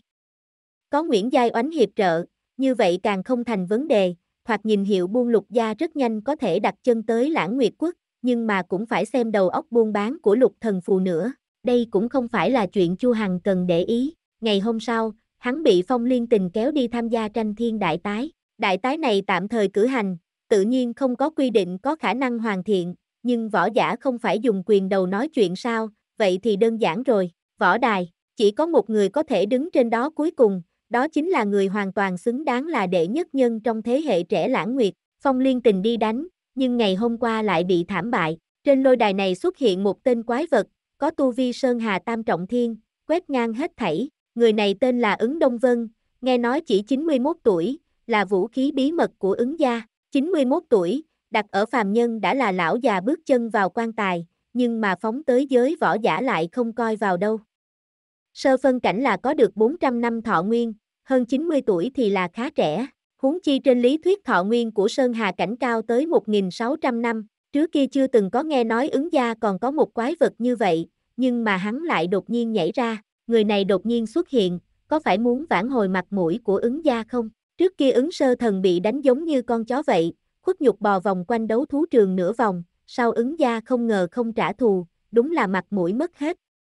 Bởi vậy, ứng gia mới cử hành tranh thiên đại tái này, dùng nó để quét ngang tất cả, vãn hồi mặt mũi, trừ triệu đoạt thiên và ứng thừa ân ra, toàn bộ lãng nguyệt quốc còn có thiên tài yêu nghiệt dưới trăm tuổi, nhưng mà có tồn tại trấn áp Sơn Hà Tam Trọng Thiên sao, không thể phủ nhận chiến lực của Chu Hằng, nhưng mà hắn nhiều lắm chỉ có thể liều mạng với Sơn Hà Tam Trọng Thiên một chút mà thôi, thủ thắng thì tuyệt đối vô vọng, trước kia chống lại ứng hải hoang là bằng chứng, đương nhiên, khai thiên cảnh có thể làm được như vậy, mọi người đã đủ nể phục Chu Hằng rồi. Nhưng cùng với Sơn Hà Tam Trọng Thiên tranh phong, Chu Hằng còn kém một chút, quán quân lần này, ứng gia bắt buộc phải đoạt được cho nên bọn họ mới xuất động ứng Đông Vân, người mà nghe cũng chưa nghe qua này, nội tình ứng gia đúng là sâu không thấy đáy, phong liên tình kéo Chu Hằng qua, xả giận là thứ yếu, quan trọng là thắng được hạng đầu, được thưởng ba viên nguyên tức đan, nghe nói nó có thể mở rộng không gian đan điền võ giả dưới linh hải cảnh nửa thành, tối đa chỉ dùng được 5 viên, hoàn toàn là thần vật chỉ tồn tại ở trong truyền thuyết. Vô giá. Một viên khó cầu, ứng gia đúng là bỏ ra cái vốn lớn, nâng quy cách tranh thiên đại tái lần này lên rất cao, nhưng càng biểu hiện ra tình thế bắt buộc, ba viên nguyên tức đan này lại càng quý báu, ứng gia thì càng không có khả năng để nó rơi vào tay kẻ khác, mà ứng Đông Vân đủ để quét ngang hết thảy đối thủ, tiểu chu tử, ngươi đi đã bại tên hỗn đảng kia, phần thưởng chúng ta mỗi người một nửa, thế nào? Phong liên tình đẩy Chu Hằng từ trong đám đông chen ra. Theo thời gian, càng ngày càng nhiều cao thủ mạnh xuất hiện, người xem chiến đấu cũng càng ngày càng nhiều, nha đầu hoang dã hai mắt tỏa ánh sáng, người ta nghe ngóng được, một viên hỗn nguyên đan có thể bán được 100 vạn linh thạch, sau đó người ta có thể mua được đồ ăn ngon, Chu Hằng đầu đầy hắc tuyến.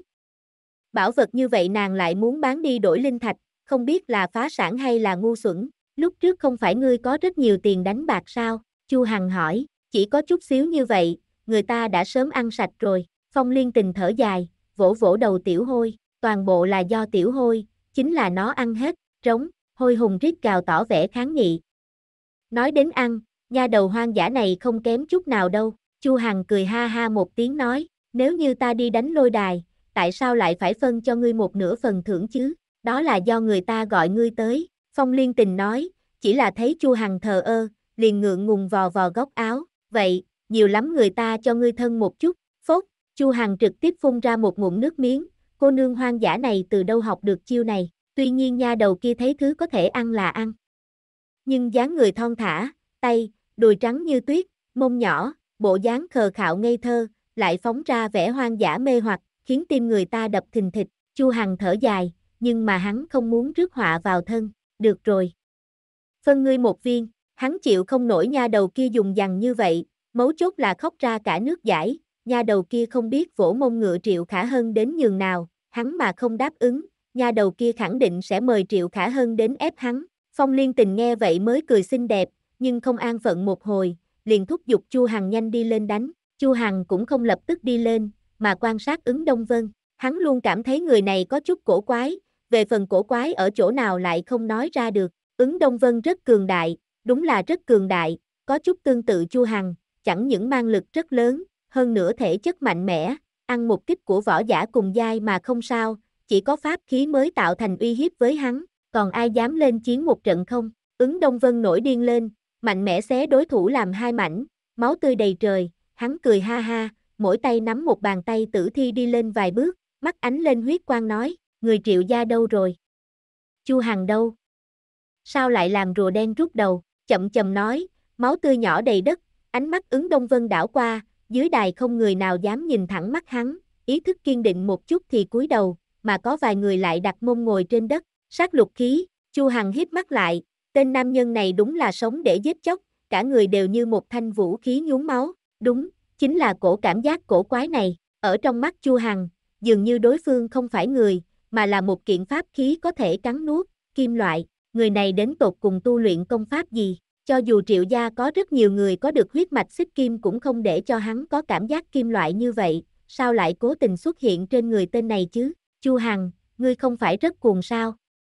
Sao lại không dám lên chiến một trận? Bởi vì liên quan tới ẩn tức phù, ứng Đông Vân cũng không phát hiện ra Chu Hằng, chỉ là quay sang đoàn người rống to, rệt rệt, hắn cầm hai mảnh tàn thi trong tay ném ra, máu tươi vấy lên đầy trời, đám người cả kinh thét lên chói tai mọi người đều thầm kêu một tiếng không biết xấu hổ. Sơn Hà cảnh khiêu chiến khai thiên cảnh thì có bản lãnh gì, có giỏi thì đi đánh với triệu đoạt thiên đấy. Đúng vậy, có bản lĩnh đánh với triệu đoạt thiên đấy. Trong đám đông lập tức vang lên tiếng cười nhạo. Chương 260, Chiến ứng Đông Vân.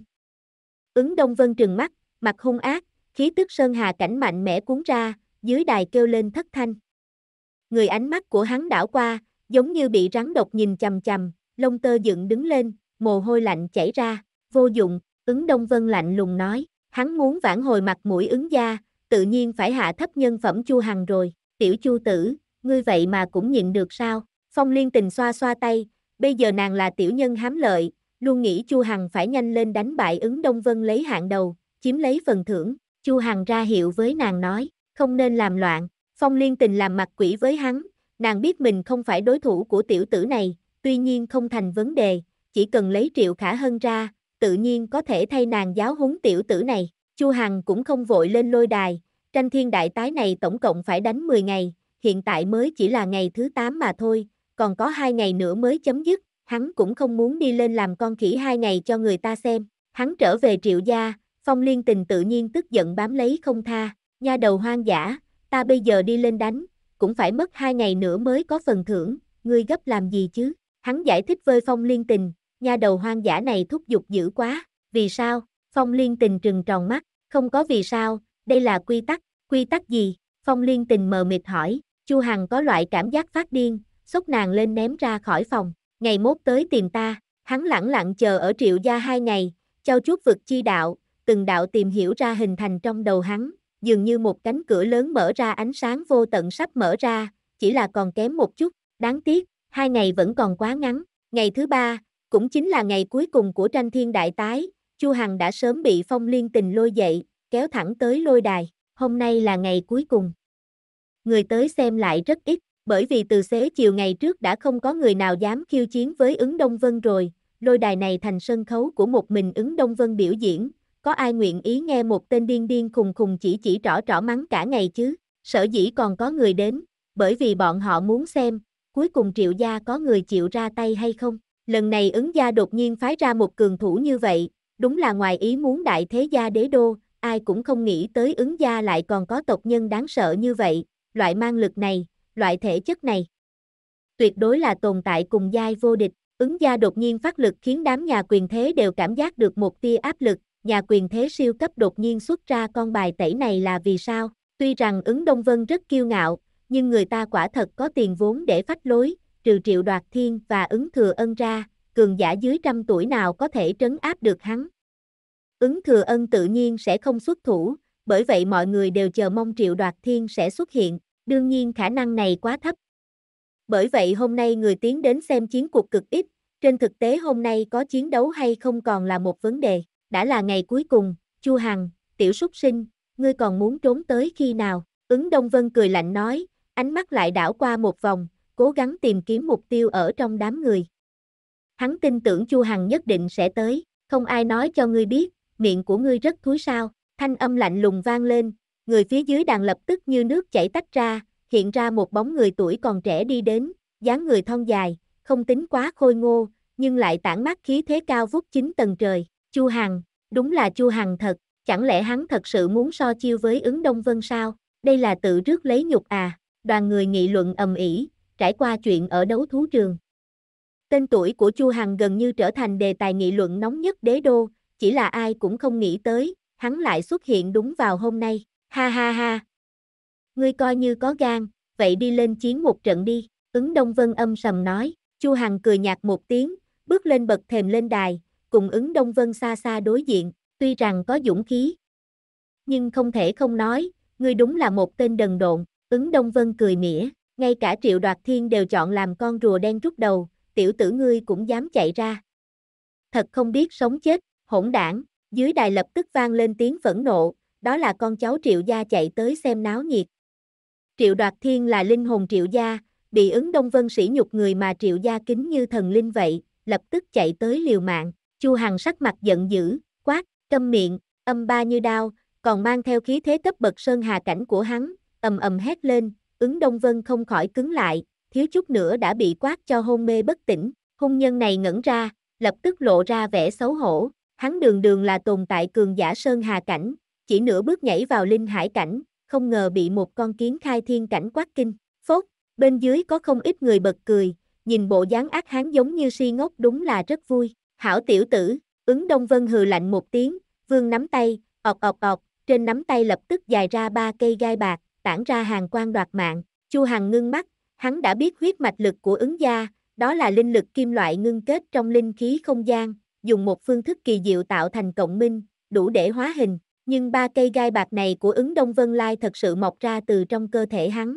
trách không được mình luôn có cảm giác đối phương có hương vị kim loại, thì ra là thế, trong cơ thể hung nhân này quả thật có kim loại, nghĩ như thế, tâm linh Chu Hằng lập tức buông lỏng, nếu trong cơ thể hắn có thể sinh ra gai bạc, vậy nói không chừng xương của hắn cũng là kim loại.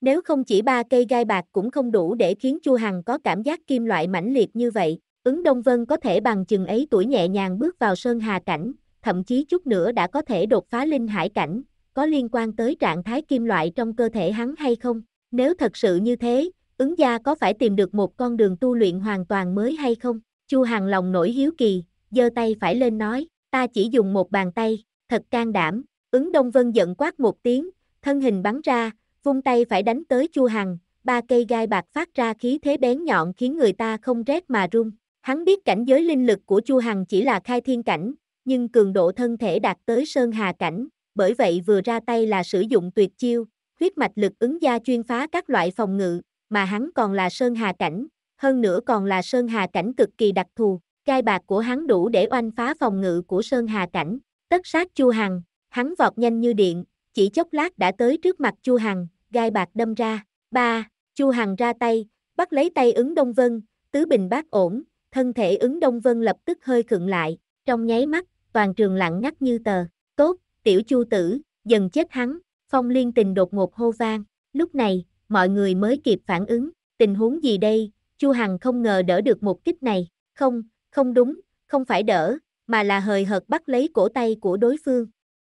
Nhưng mà đây chỉ có cấp bậc lực lượng nghiền ép mới có thể làm được a, nghiền ép, khi nào thì võ giả khai thiên cảnh có thể nghiền ép sơn hà cảnh, hắc, ứng đông vân quát lên một tiếng lớn, tay trái vũ động, thương thương thương, lại ba cây gai bạc hiện ra, hung hăng thọc xuống sườn dưới Chu Hằng, tay phải Chu Hằng rung lên, cả người ứng Đông Vân nhất thời bị hất lên, tay phải hắn đánh ra, thình thịch, một đạo huyết hoa văng lên, bụng ứng Đông Vân bị một quyền này mạnh mẽ xuyên thủng, xuất hiện một lỗ thủng bằng đầu con nít, mà cả người lại bay ra ngoài lôi đài, mạnh mẽ cà lên mặt đá một cái rãnh sâu một thước, Chu Hằng thu quyền mà đứng, thản nhiên nói, lớn lối nửa ngày, thì ra không thể chịu nổi một kích, không chịu nổi một kích, mọi người đều có chút muốn kêu oan cho ứng Đông Vân, vị này chính là Sơn Hà Tam Trọng Thiên Đỉnh Phong A, mang lực bá đạo, thể chất mạnh mẽ, vốn nên là tồn tại cùng giai vô địch, nhưng mà bị Chu Hằng một chiêu đánh bại, thiên tài sinh ra cùng thời đại vơi triệu đoạt thiên, ứng thừa ân đều là bi ai, nhất định dưới hào quang vạn trượng của hai người mà ảm đạm không ánh sáng. Nhưng mà không nghĩ tới, hiện tại lại ra một yêu nghiệt chút không kém, cũng có thể ép thế hệ trẻ không thở nổi, tiểu tử, ngươi đã chọc giận ta, ứng đông vân bò dậy, lỗ thủng trên bụng nhanh chóng khép lại, hai mắt hắn trong nháy mắt trở nên đen như mực, hoàn toàn không có lòng trắng, khiến người ta nhìn vào mà trái tim băng giá, Ken, lưng hắn một một cây gai xương dài ba xích, ánh sáng bạc lóe lên, lại có một hắc tuyến lưu chuyển, quỷ dị khó hiểu, Ken, lại một gai xương dài ra, Ken, Ken, Ken. Liên tục không ngừng, trên lưng của ứng Đông Vân một ra 18 cái gai xương, giống như một con nhím vậy, rõ ràng bộ dáng này rất là buồn cười, nhưng mà hiện trường lại không ai cười được. Mọi người đều biết một khi vận chuyển huyết mạch lực, võ giả sẽ trở nên rất quái dị, nhưng mà ứng Đông Vân cho người ta cảm giác vượt ra khỏi phạm trù dị quái, mà là quái vật, một đầu quái vật sống sờ sờ. Chu Hằng sáng mắt, lòng hiếu kỳ càng đậm, 18 cây gai xương bạc đều là kim loại, trước đó đã giấu trong cơ thể ứng Đông Vân, mà cũng không phải sau khi đối phương vận chuyển huyết mạch lực, ngưng tụ kim hệ linh khí trong thiên địa mà thành, chết cho ta, ứng Đông Vân nổi giận gầm lên một tiếng, cả người bay vọt tơi Chu Hằng, thân thể cuộn tròn lại, 18 cây gai xương tạo thành một bánh xe kim loại lăn về phía Chu Hằng, này làm sao phá, huyết mạch lực ứng gia chính là chuyên gia phá các loại phòng ngự, mà ứng Đông Vân đặc thù nhất, thậm chí gai xương bạc của hắn có thể oanh phá pháp khí cùng cảnh giới, đây vốn chính là vô kiên bất tồi mâu A, Chu Hằng lạnh lùng cười, tay phải mở ra, trong nháy mắt, một đóa hoa sen tám màu sinh ra đánh úp tới ứng Đông Vân, từ sau khi thể chất dẫn đột phá sơn hà cảnh, hắn đã có một thời gian không dùng võ kỹ chiến đấu, nhưng theo tu vi linh lực của hắn đột phá tới sơn hà cảnh, chiến lực mạnh nhất của hắn vẫn là các loại võ kỹ, vù, hoa sen tám màu xoay tròn bay về phía ứng Đông Vân, huyết mạch ứng gia ta vô kiên bất tồi, không gì không phá, ứng Đông Vân hét lớn một tiếng, tránh cũng không tránh, 18 cây gai bạc xoay tròn đánh về phía hoa sen tám màu,